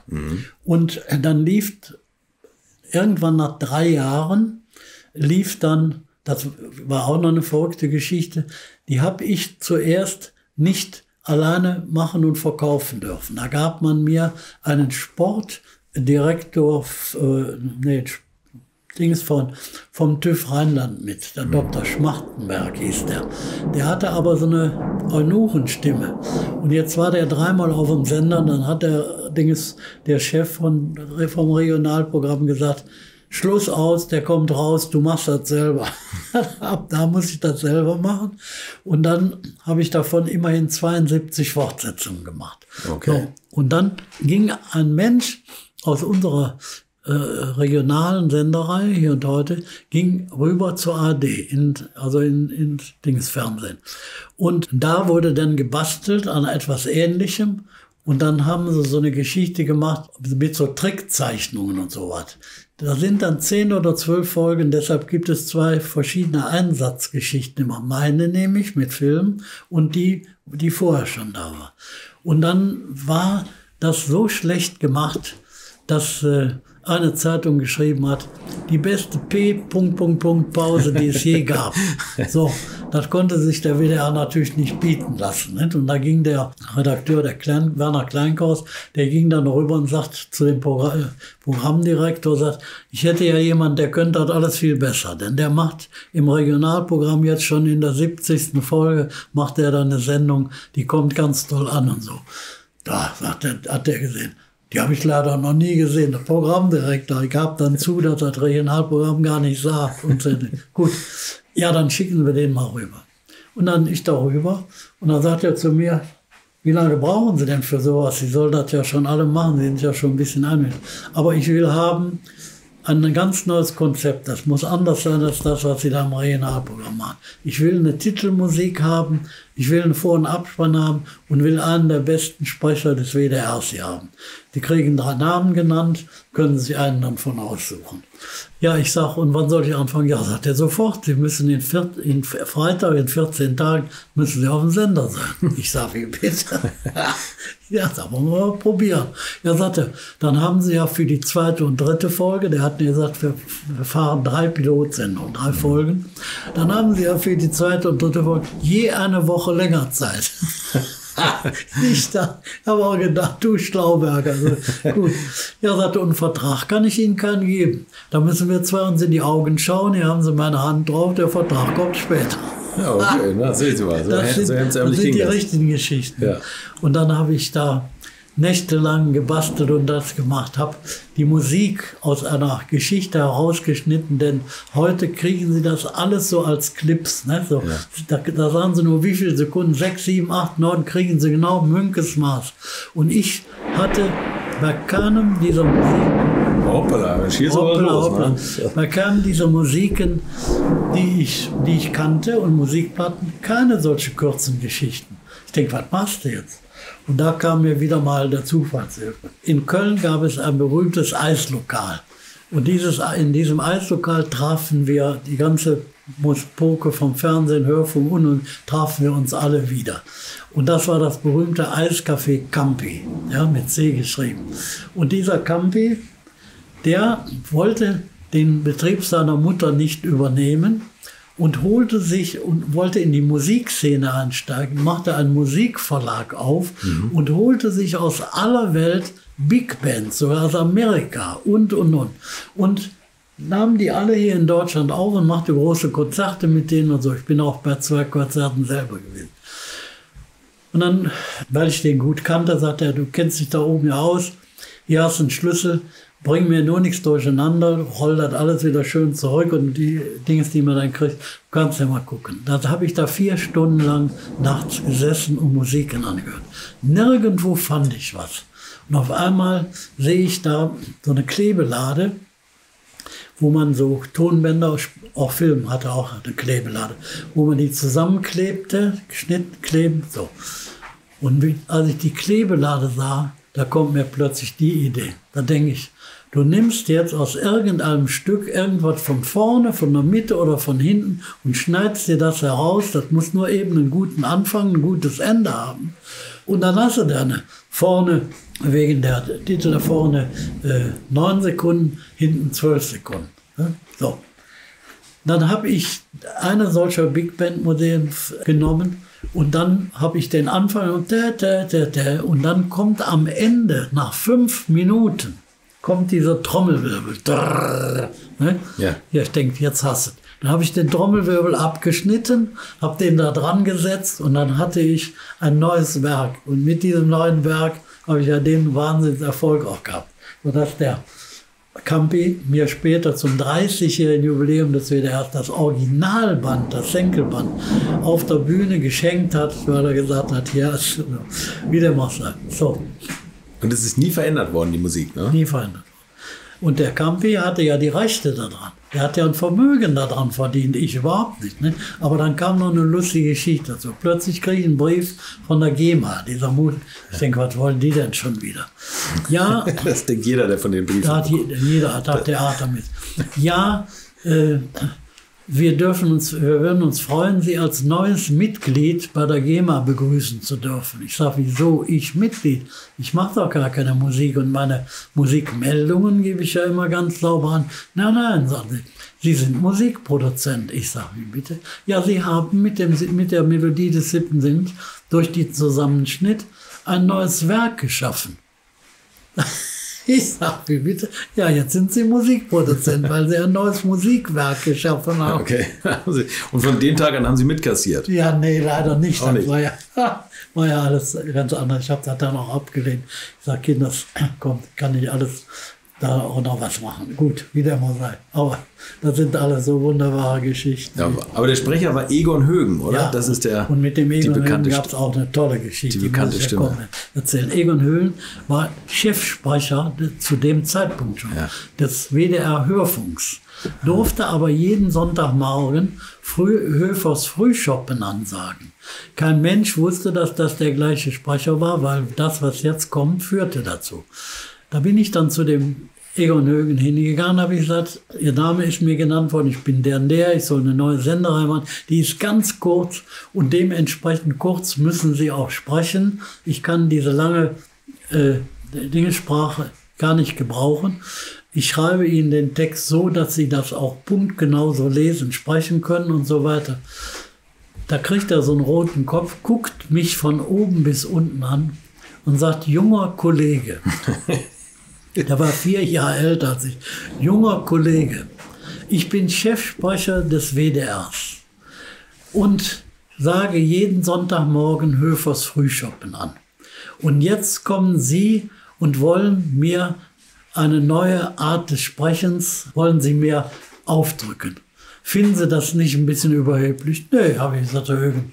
Man hat mir drei Stimmen gegeben, drei Leute des Hauses. Wenn Sie das jetzt nicht wollen, gehe ich zu einem Kleinen oder so. Ja, frag den mal. Ne? Hat er immer noch den roten Kopf, so, zog ganz hektisch an seiner Zigarette. Er sagte, wenn, haben Sie denn sowas mal da? Ja, ich sag, ich habe eine so eine Beispielfolge da, ich habe auch den Text da. Und den müssen Sie dann so. Ja, dann lassen wir mal, wir können es ja mal probieren. Ja. Sind wir ins Studio gegangen und dann habe ich den richtig eingepeitscht. Kürzer, härter, sachlicher. Woff, woff, woff. Ne? Und am Ende fand er sich plötzlich auf einmal ganz gut. Und das Tolle war, andere Leute, also unsere Zuschauer, fanden ihn ja auch toll. Er hat ja. durch diese Geschichte hat der Mengen Aufträge gekriegt und ist bekannt geworden, aber nicht durch Höfers Ruhigschopfen äh, am nee, Sonntag. Nee, nee, da kannte den kaum. Und immer wenn ich dann sagte, das ist derselbe Sprecher, dann haben alle immer gesagt, nee, das kann doch nicht sein. Der spricht doch da ganz anders. Ne? Und es lief immer vor der Sportschau am Samstag? Nein, nein, nein. Es lief zuerst immer äh, direkt, das lief ja freitags abends, das war ja die verrückteste Sendezeit, lief das ja immer vor dem Krimi. Und jeder, der den Krimi gucken wollte, sah sich auch automatisch den Ding an. Und selbst als das verlegt wurde, hat man das gemacht. Aber das war die allerbeste Sendezeit. Dann ist die äh, gewandert über den, vom Freitag auf den Donnerstag, dann mal auf dem, irgendwie auf dem Samstag gelandet und landete letztlich vor der Sportschau. Ja, da kann ich mich noch dran erinnern. Ja. ja. Und da hat man die nur hingelegt, weil die Sportschau hatte ja damals keine Rechte an den Fußballspielen und die Sportschau hatte dann auch entsprechend weniger Zuschauerzahlen. Da waren wir, kleine Senderei, der siebte Sinn, die Lokomotive für die Sportschau. Das hat die bei der Sportschau natürlich wahnsinnig geärgert und die waren dann froh und haben, glaube ich, applaudiert, als das Ding dann ganz vom Sender ging oder so oder als sie dann ihre Sendezeit wieder bekamen. Ne? Das sind die kleinen Machtspielchen ja, sind, in so einem Sender, Das sind oder? so wunderbare Geschichten die dann alle immer so die Zwischensachen, die da laufen. Ja. Aber sie haben natürlich beeindruckende Quoten gehabt. Und auch das ist ja was, was man heute völlig aus den Augen verliert. Es gab ja nur drei Sender, ARD, ZDF und die dritten Programme. Ne? Richtig. Aber und nicht vergessen, die dritten Programme hatten da auch schon richtig schön Zuschauerzahlen und von denen gab es damals ja schon noch nicht alle Sender, aber sieben oder acht Regionalprogramme ja. gab es schon. Ja. Ne? Und bei der A wurde ja sogar mal ein drittes Programm, nämlich Prisma des Westens hieß das, ausprobiert. Nach einer ganz kurzen Zeit hat man das so wieder eingestellt, weil dann doch alle mehr hier und heute die Regionalsendung gesehen haben. Ne? Mhm. Und wie viele Zuschauer hatten Sie so in der Spitze? In der, damals zu Anfang steht bei 18 bis 20 Millionen. Ne? Ach. 18 bis 20, 20 Millionen, Millionen, Leute. Selbst Thomas Gottschalk bekommt feuchte Augen, wenn er ja. an seine besten Zeiten zurückdenkt. Ne? Thomas Gottschalk hat den, die siebte Sinnmelodie mal in einer seiner Serien äh, auch genommen. Und auch hier unser äh, Talker. Der hat auch die siebte Sinnmelodie mal genommen und hat sich sogar mal den Höhen geholt. Also wer alle davon profitiert hat. Der Harald Schmidt war das, oder? Meinen ja, Sie? Harald Schmidt. Ja. ja, Harald Schmidt hat sie sich auch mal geholt.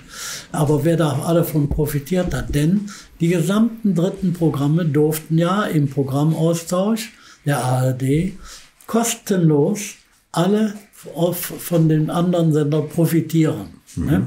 Und dann haben ganze Sender, ganze Sendereien mit dem siebten Sinn gefüllt, weil sie sich damit Budget ersparten. Ja. ja. Denn 10 mal 3 Minuten sind auch 30 Minuten, die man normalerweise bezahlen müsste. Ne? Und dann ging aber los, dass das Ding ja in alle Welt verkauft wurde. Ich habe dann viele dieser Brocken aufbereiten müssen, weil ich den Mann, den Dr. Schäfer, der das bei der Deutschen Welle äh, organisierte, gut kannte und der immer direkt zu mir kam. Der kam hier aus Berchtesgaden im Übrigen. So, und äh, da rief der mich eines Tages an und sagt, wie viele Winterfolgen haben Sie denn? Ja, ich sage, wie viele Winterfolgen habe ich? Jede, jeden Winter sechs bis acht Folgen, das dürften so 100, 120 Folgen im Laufe der ganzen Jahre gewesen. Ja, sagte, kriegen Sie 100 Folgen zusammen. Ja, ich sage, warum wollen Sie denn 100 Folgen Wintergeschichten haben? Er sagte, ich habe gerade einen Auftrag über 100 Folgen siebter Sinn vom russischen Fernsehen bekommen. Das muss nur, das hat die Deutsche Welle dann alles übersetzt und Ja. so, ne? Wurde gemacht, der 17 wurde ja in 17 oder 18 Sprachen übersetzt, ne? Und da mussten sie dann extra von der Deutschen Welle, da gab's ja alle die Fremdsprecher, da mussten sie extra einen Russen holen, der dann 100 Folgen siebter sind, nur Wintergeschichten nach Dings aussieht. Und dann gab es ja auch damit schöne Geschichten. Da gibt es ja das berühmte Goethe-Institut und das hat ja die Aufgabe, äh, Deutschland im Ausland bekannt zu machen und wie gut wir alle sind hier in Deutschland und so. Und eines Tages erzählt mir jemand, er hätte am Strand in Kenia gelegen und hätte plötzlich die siebte Sinnmelodie gehört. Und da hätte er seiner Frau gesagt, hörst du das? Hörst du das? Das ist die siebte Sinnmelodie. Da hätte seine Frau gesagt, sag mal, hast du jetzt einen Sonnenstich? Bist du jetzt ganz weit? Und dann ist er der Spur nachgegangen, musste durch so eine Hecke und so. Und was war? Stand da ein Übertragungswagen vom Goethe-Institut und auf so Baumstämmen saßen nur Kenianer, nur Kenianer und sahen sich dann siebte Sinne an und hatten einen Heidenspaß. Und die Leute vom Goethe-Institut wussten das natürlich schon, wenn dann mitten im heißen Kenia Winterfolgen gesendet wurde und die Auto alles über Schnee schützen. Dann saßen die da auf den Stühlen und haben sich kaputt gelacht. Die größten Erfolge in Afrika waren nicht die normalen siebten Sinne, sondern die Schneefolgen. und dann Und die, und die blonden Menschen, die zu sehen waren. ja, pass auf. Und dann äh, hat das jemand von der Bild-Zeitung geschrieben, der war das auch, der das entdeckt hat. Und dann habe ich so gedacht, das ist ja lustig. Nicht? Ich habe sehr häufig auch selber in Kenia, aber an einer ganz anderen Stelle Urlaub gemacht. Und eines Tages ging mir das genauso. Da denke ich, dann mal Sonnenstich oder was? Und dann fiel mir aber ein, dass die Story bei denen so genauso begann mit dem Sonnenstich. Ich auch der Ding ist nachgegangen und tatsächlich hinter drei Hecken fand ich dann wieder die weißen VW-Busse, die hinten aufgeklappt werden konnte, mit einem Projektor drauf, Leinwand auf und meine siebten Sinne liefen in Kenia am Strand. Wie viele Folgen gibt es insgesamt? 1754 Folgen. Das Im ist- Original. Eine der erfolgreichsten Serien Ja. überhaupt im deutschen Fernsehen. Ja. Ne? Und vor allen Dingen eine, die ja dreist 39, also bald 40 Jahre, 39 Jahre gelaufen ist, ohne dass die Mannschaft verändert wurde. Und immer die gleichen Leute waren. Also der Sprecher war immer der gleiche und und und. Und das war das Besondere daran. Denn jede andere aktuelle Sendung Wird mal.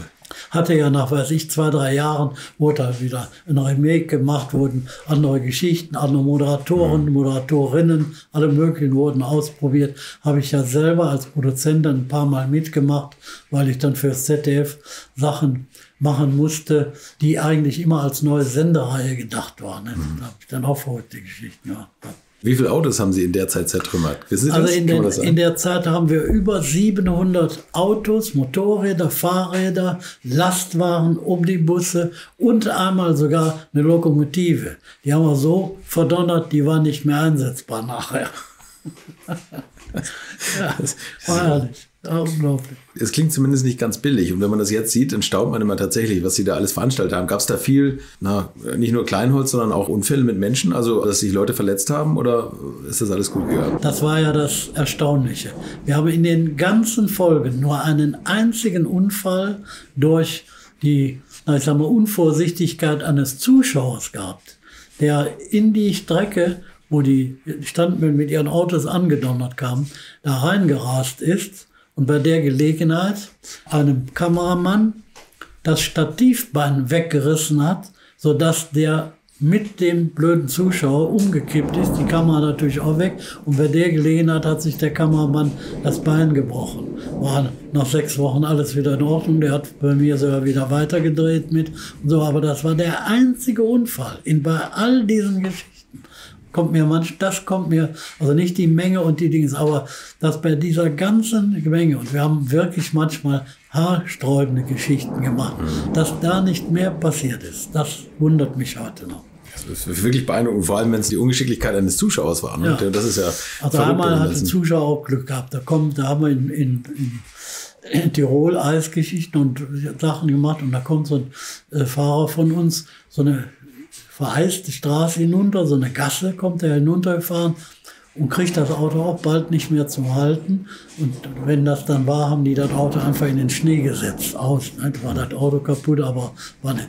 Und da durchbricht ein Zuschauer, wieder so ein Idiot, die Absperrung, rast dem Auto entgegen, wirft sich auf die Fahrbahn mitten drauf und will das Auto von vorne fotografieren, wie der da angerast kommt. Was ist so ein Selbstmörder oder was? Alles Selbstmörder. Absurd, ja. Und da hat der damalige Fahrer, war noch nicht mal ein Stuntman, der hat das einzig richtig gemacht, der hat Handbremse gezogen, das Auto in den Schnee, in den richtig Schneewehen getan mhm. und ist weit genug vor dem Verrückten zum Stehen gekommen. Aber der war ganz schön weit in die Dinge, in, in unser Sperrgebiet gelaufen. Ne?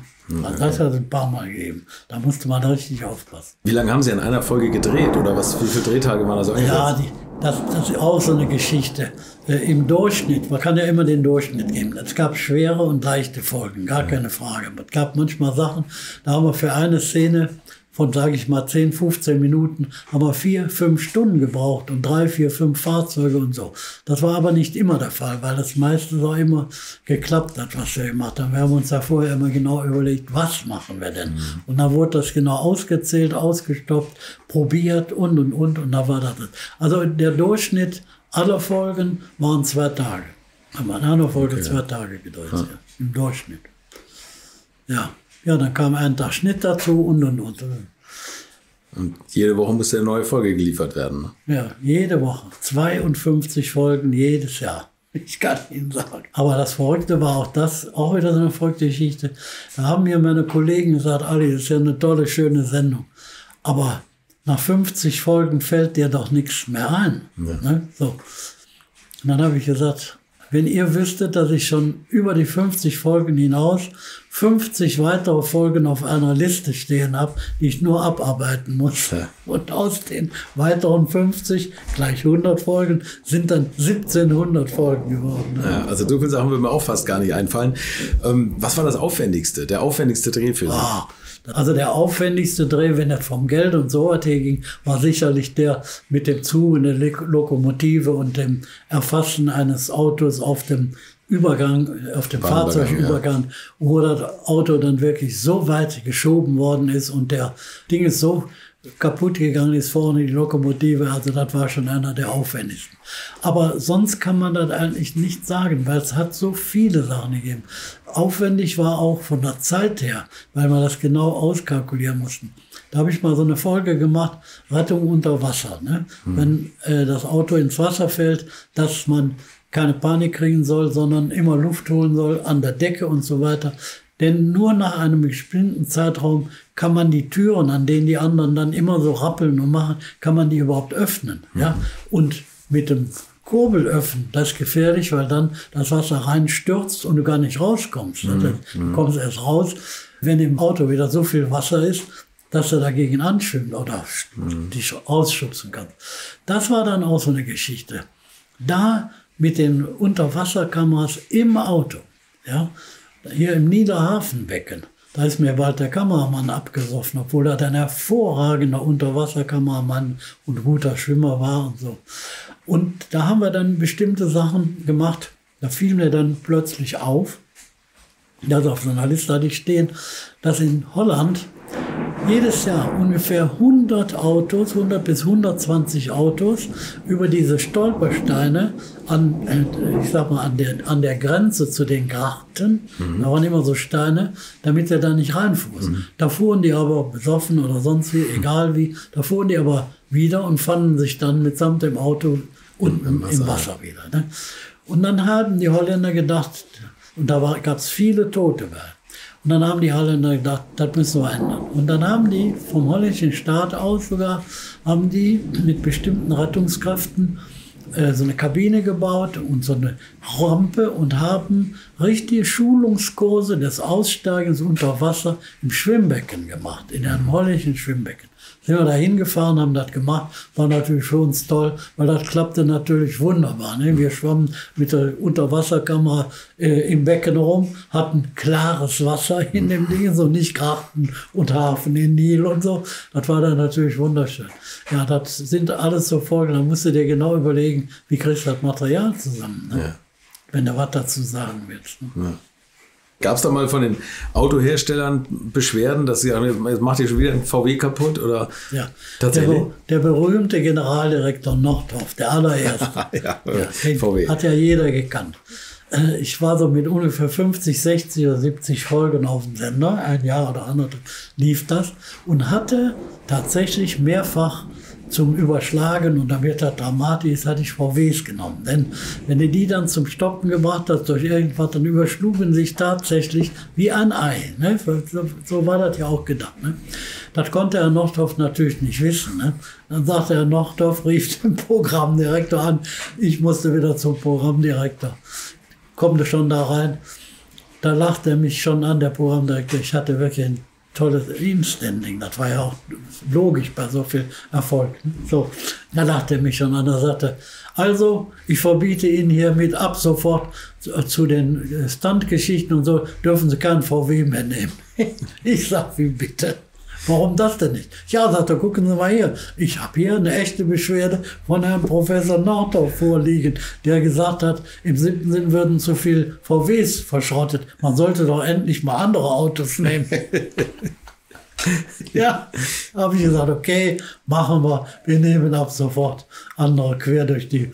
Die hatten wir sonst auch gemacht. Nur, der hat sich immer natürlich nur darauf konzentriert. Ja. Wann kommt wieder ein VW? Da tut man ja selber auch. Ja, ja. Wenn man auf der Straße ist und will ein bestimmtes Auto sehen, guckst du immer nur da, wo das ist. Das hat, daher ist er das auch gegangen.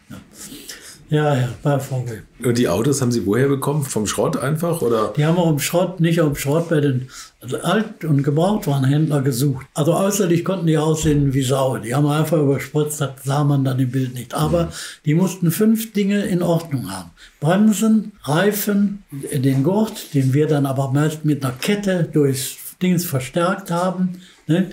Äh, dann Licht, also fünf Sachen waren das. Jedenfalls Danach wurde dann gesucht und da wurde mit den Händlern verhandelt. Die wollten natürlich am meisten Geld rausschlagen, konnten aber das Auto auch sonst gar nicht loswerden.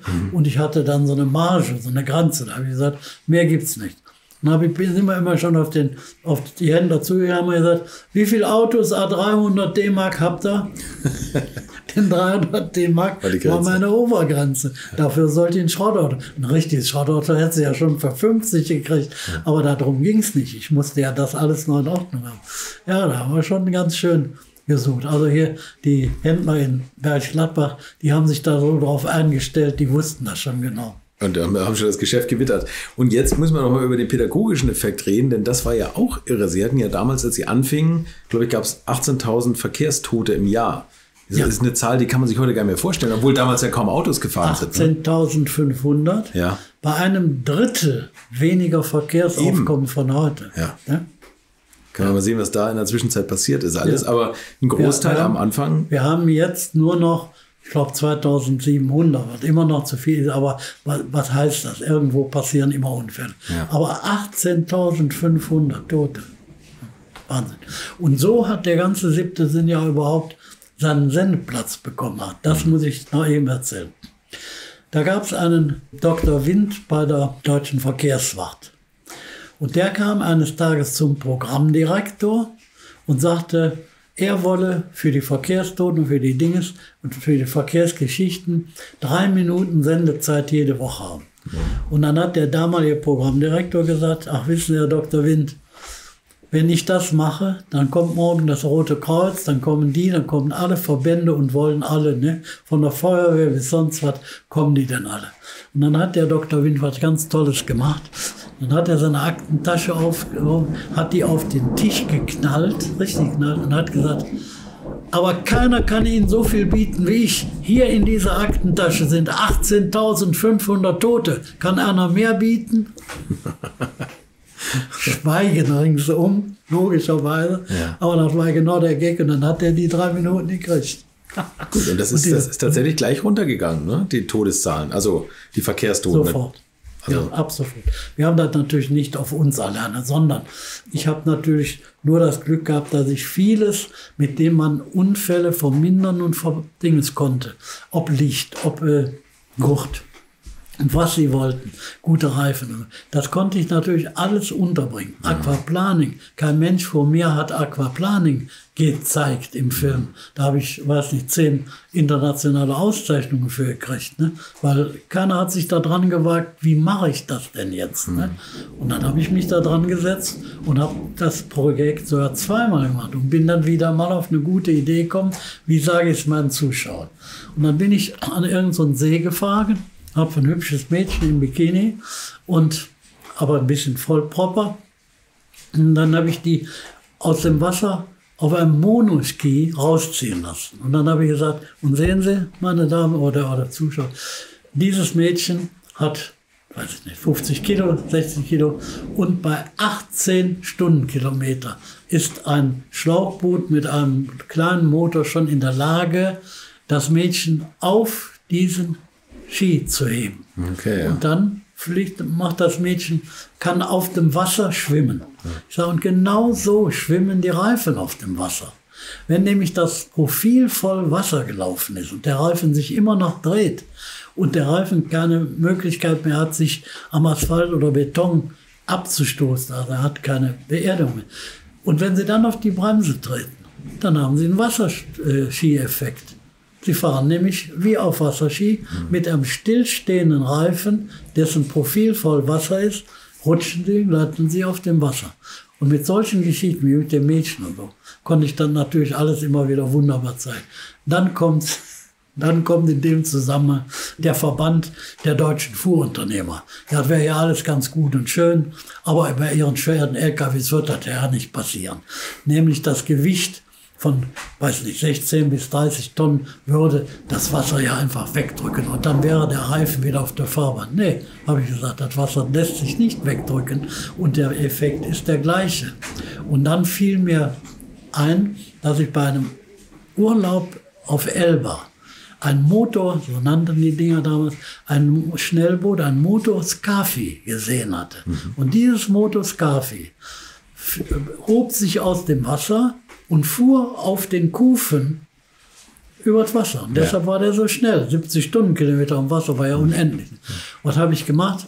Bin ich da hingefahren nach Elba, habe das schön gemessen, waren 27 oder 28 Zentimeter, habe das an einem LKW-Reifen gehabt und dann habe ich denen gezeigt, wie der LKW-Reifen genau so auf dem Wasser schön so. Von denen haben wir nichts mehr gehört, die waren so platt. Aber dieses Wissen um die fahrphysikalischen Geschichten. Die haben dafür mitgesorgt, dass der siebte Sinn so eine Zuschauereffektiv hatte. Mhm. Denn ich habe ja so vieles mit Beispielen gezeigt. Mhm. Auch mit sogenannten Teletricks, wo man mit Papier und so Sachen ziehen konnte und machen und so. Aber alles Mögliche gemacht. Ja. 2006 lief die letzte Sendung, oder? 2005. 2005. 2006 wäre ja mein 40-jähriges Jubiläum gewesen. Das Und das haben sie mir nicht mehr gegönnt. Was war die Begründung? Also war der Verkehr zu sicher? Also die Begründung war, die Verkehrsunfälle gehen ja jetzt von selber zurück, da braucht man die Sendung ja nicht mehr. Die wirklichen Gründe waren natürlich ganz andere. Ne? Die jungen Redakteure wollten den alten Beutzen, mich nämlich, sagt das mhm. wirklich so, wollten die natürlich endlich mal weghalten. Denn mhm. im 39. Jahr 205 war ich ja immerhin schon über 70 Jahre alt und arbeitete immer noch und hatte auch immer noch den Erfolg. Denn obwohl der siebte Sinn ja dann gewandert ist, hatten wir im Verhältnis zu anderen Sendereien, ja, haben wir eben gesprochen zu Harald Schmidt und so, hatten wir ja noch enorm mehr Zuschauerzahlen als die alle hatten. Die waren da immer alle neidisch auf die Zuschauerzahlen. Auch zum Schluss noch. Ne? Millionen hatten wir zum Schluss noch. Und der Harald Schmidt kam gerade auf 1,2 Millionen und ich hatte noch sechs oder sieben oder was. Wie würde heute der siebte Sinn für Sie aussehen? Natürlich den Sehgewohnheiten entsprechend anders. Ganz andere Kameraeinstellungen, weil mit den kleinen Kameras kannst du ja heute ganz anders arbeiten. Mhm. Wenn ich damals mal zeigen wollte, wie ein Stoßdämpfer arbeitete, da musste ich übers Rad, durch den Radkasten, was ein Loch schneiden, was wir auch gemacht haben. Auf der Achse eine Kamera befestigen, wenn überhaupt geht, oder von außen ein Stativ, damit er da durch kann, damit ich dann den Stoßdämpfer überhaupt sah. Ja, das war ja alles unglaublich viel schlechter zu machen als heute. Heute wird so auf die Achse oder neben dem Ding oder direkt an den Stoßdämpfer so eine Kamera und dann siehst du, wie das Ding arbeitet. Ne? Also da würde man natürlich was ganz anderes machen. Aber es ist ja auch nicht so, dass ich an dieser Mache nur so festgehalten hätte. Ich habe ja kurz bevor der siebte Sinn zu Ende ging, habe ich ja noch sieben, acht oder neun Pilotfilme mit modernen Methoden aber auch nur mit den modernen Methoden von 204 oder 5, nicht von jetzt. Mhm. Ja. Auch schon lange her. Ja. Und vor allem gab es noch kein YouTube. Da könnte man es natürlich heute gut verbreiten. Ja. Und thematisch, also jetzt heute bei aktuellen Autos, würden Sie da thematisch noch was sehen? Wahrscheinlich, dass man nicht aufs Handy gucken soll während der Fahrt. Das ist, glaube ich, immer ein großes ja, Problem. Ne? Das wäre mal ein großes Thema, damit man das weitermacht. Das muss man dann aber aufklären. Man muss nämlich dann zeigen, das habe ich ja auch gemacht. Und zwar habe ich das ja gemacht, äh, nicht mit dem Handy, sondern mit dem Telefon. Da kam mhm. ja schon das Telefon und auch mit dem Radio, mit dem Platteneinlegen. Ja, ja. Dann habe ich immer abgestoppt, wie viele Sekunden guckt der Fahrer darin, um die Platte einzuschieben und so. Und wenn das dann drei, vier, fünf Sekunden waren, dann habe ich das umgesetzt in Kilometern bei bestimmten Geschwindigkeiten. Mhm. Und dann habe ich gesagt, hier bei, sag mal, 100 fährst du bei zwei Sekunden Ablenkung schon 50 Meter im Blindflug. Mhm. Ne? Und dann, das dann immer erweitert. Mit den Platten gezeigt, weil das dann schon vier Sekunden waren. Ja? So. Und so könnte man das heute auch mit anderen Kameras, aber so auch weiter erläutern, erklären. Denn ich meine, so wie die Leute heute erkannt haben, dass die Maske wirklich wichtig ist und sie auch, die meisten auch, über 50 Prozent anziehen. So hätten sie bei dem Gucken bei solchen Sachen auch so und so viele Leute, die sich daran halten würden. Mhm.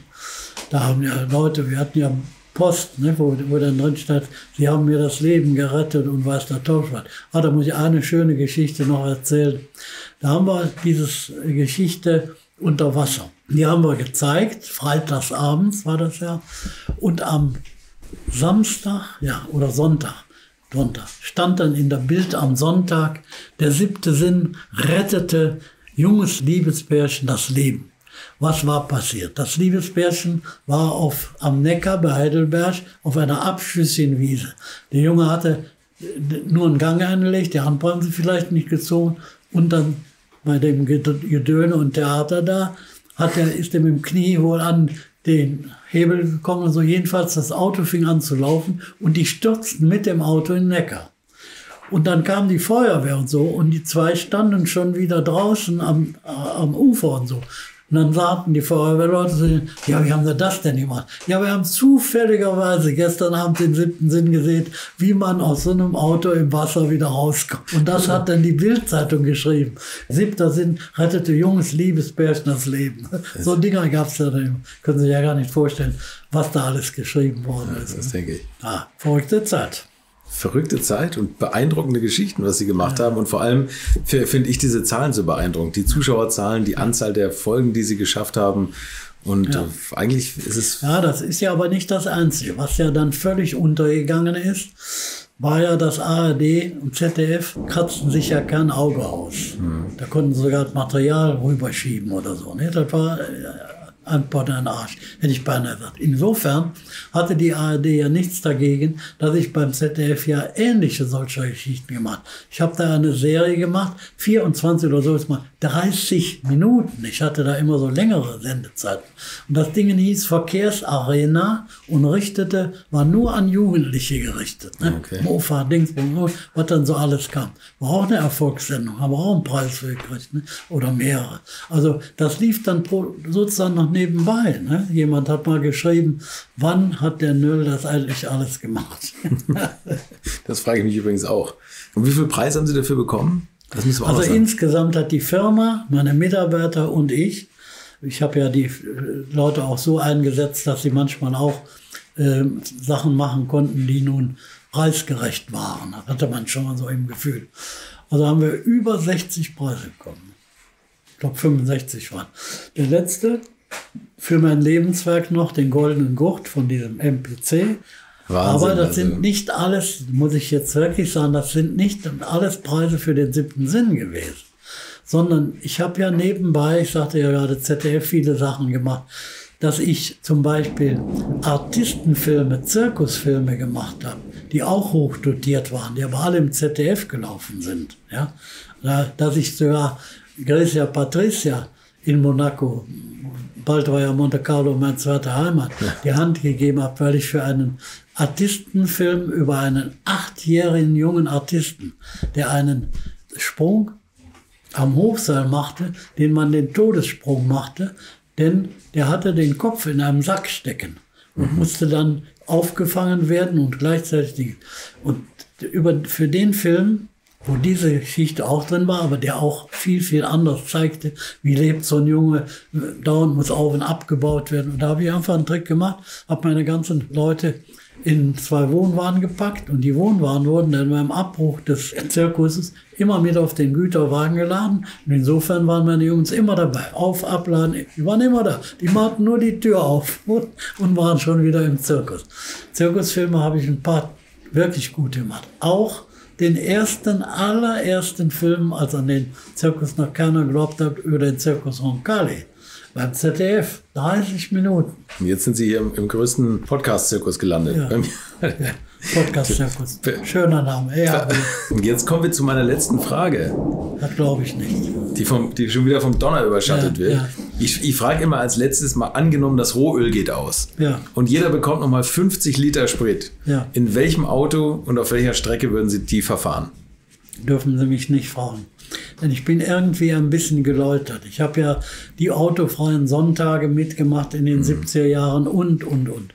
Und ich habe jetzt ein Auto, was ein ganz kleines, was nur sieben Liter verbraucht. Und äh, diese Geschichte, die, wenn man jung ist, mal in jedem Auto gesessen zu haben.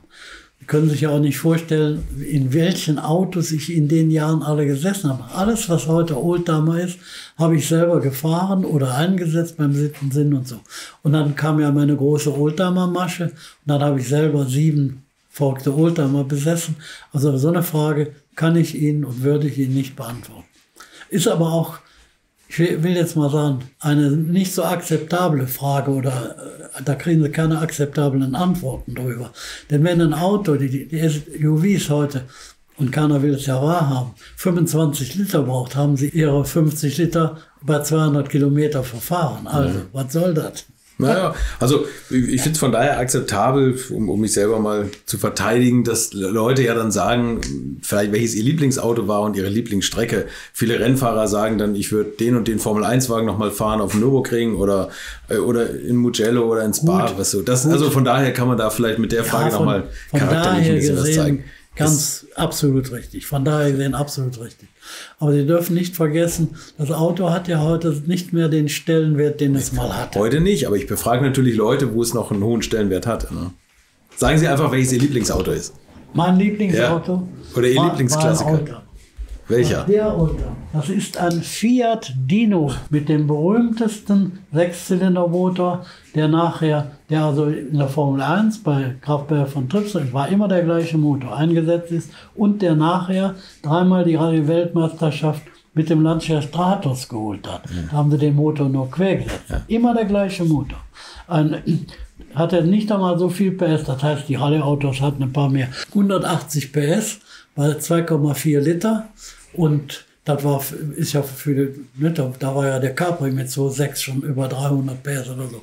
Das war es nicht. Aber diese Zuverlässigkeit und das Durchzugsvermögen von unten herauf, Wahnsinn. Wirklich toll. Okay. Das war in den letzten 20, 30 Jahren mein Lieblingsauto. So, und jetzt, um meine letzte Frage zu beantworten, in einem Fiat Dino auf der Rallye Monte Carlo. So, jetzt wird mir nicht mehr widersprochen. Dabei wollte ich gerade sagen, jetzt hast du den nicht. Herr Noel, vielen Dank fürs Gespräch. ja, ja. Das war Alfred Noel und wenn ich jetzt so im Auto und im Straßenverkehr unterwegs bin, dann finde ich, dass es den siebten Sinn auch heute wieder geben sollte. Vielleicht sollten wir beim WDR nochmal nachfragen, ob es nicht eine gute Idee wäre, das wieder zu reaktivieren. Danke auf jeden Fall fürs Zuhören. Bis nächste Woche. Fahrt vorsichtig und bleibt gesund.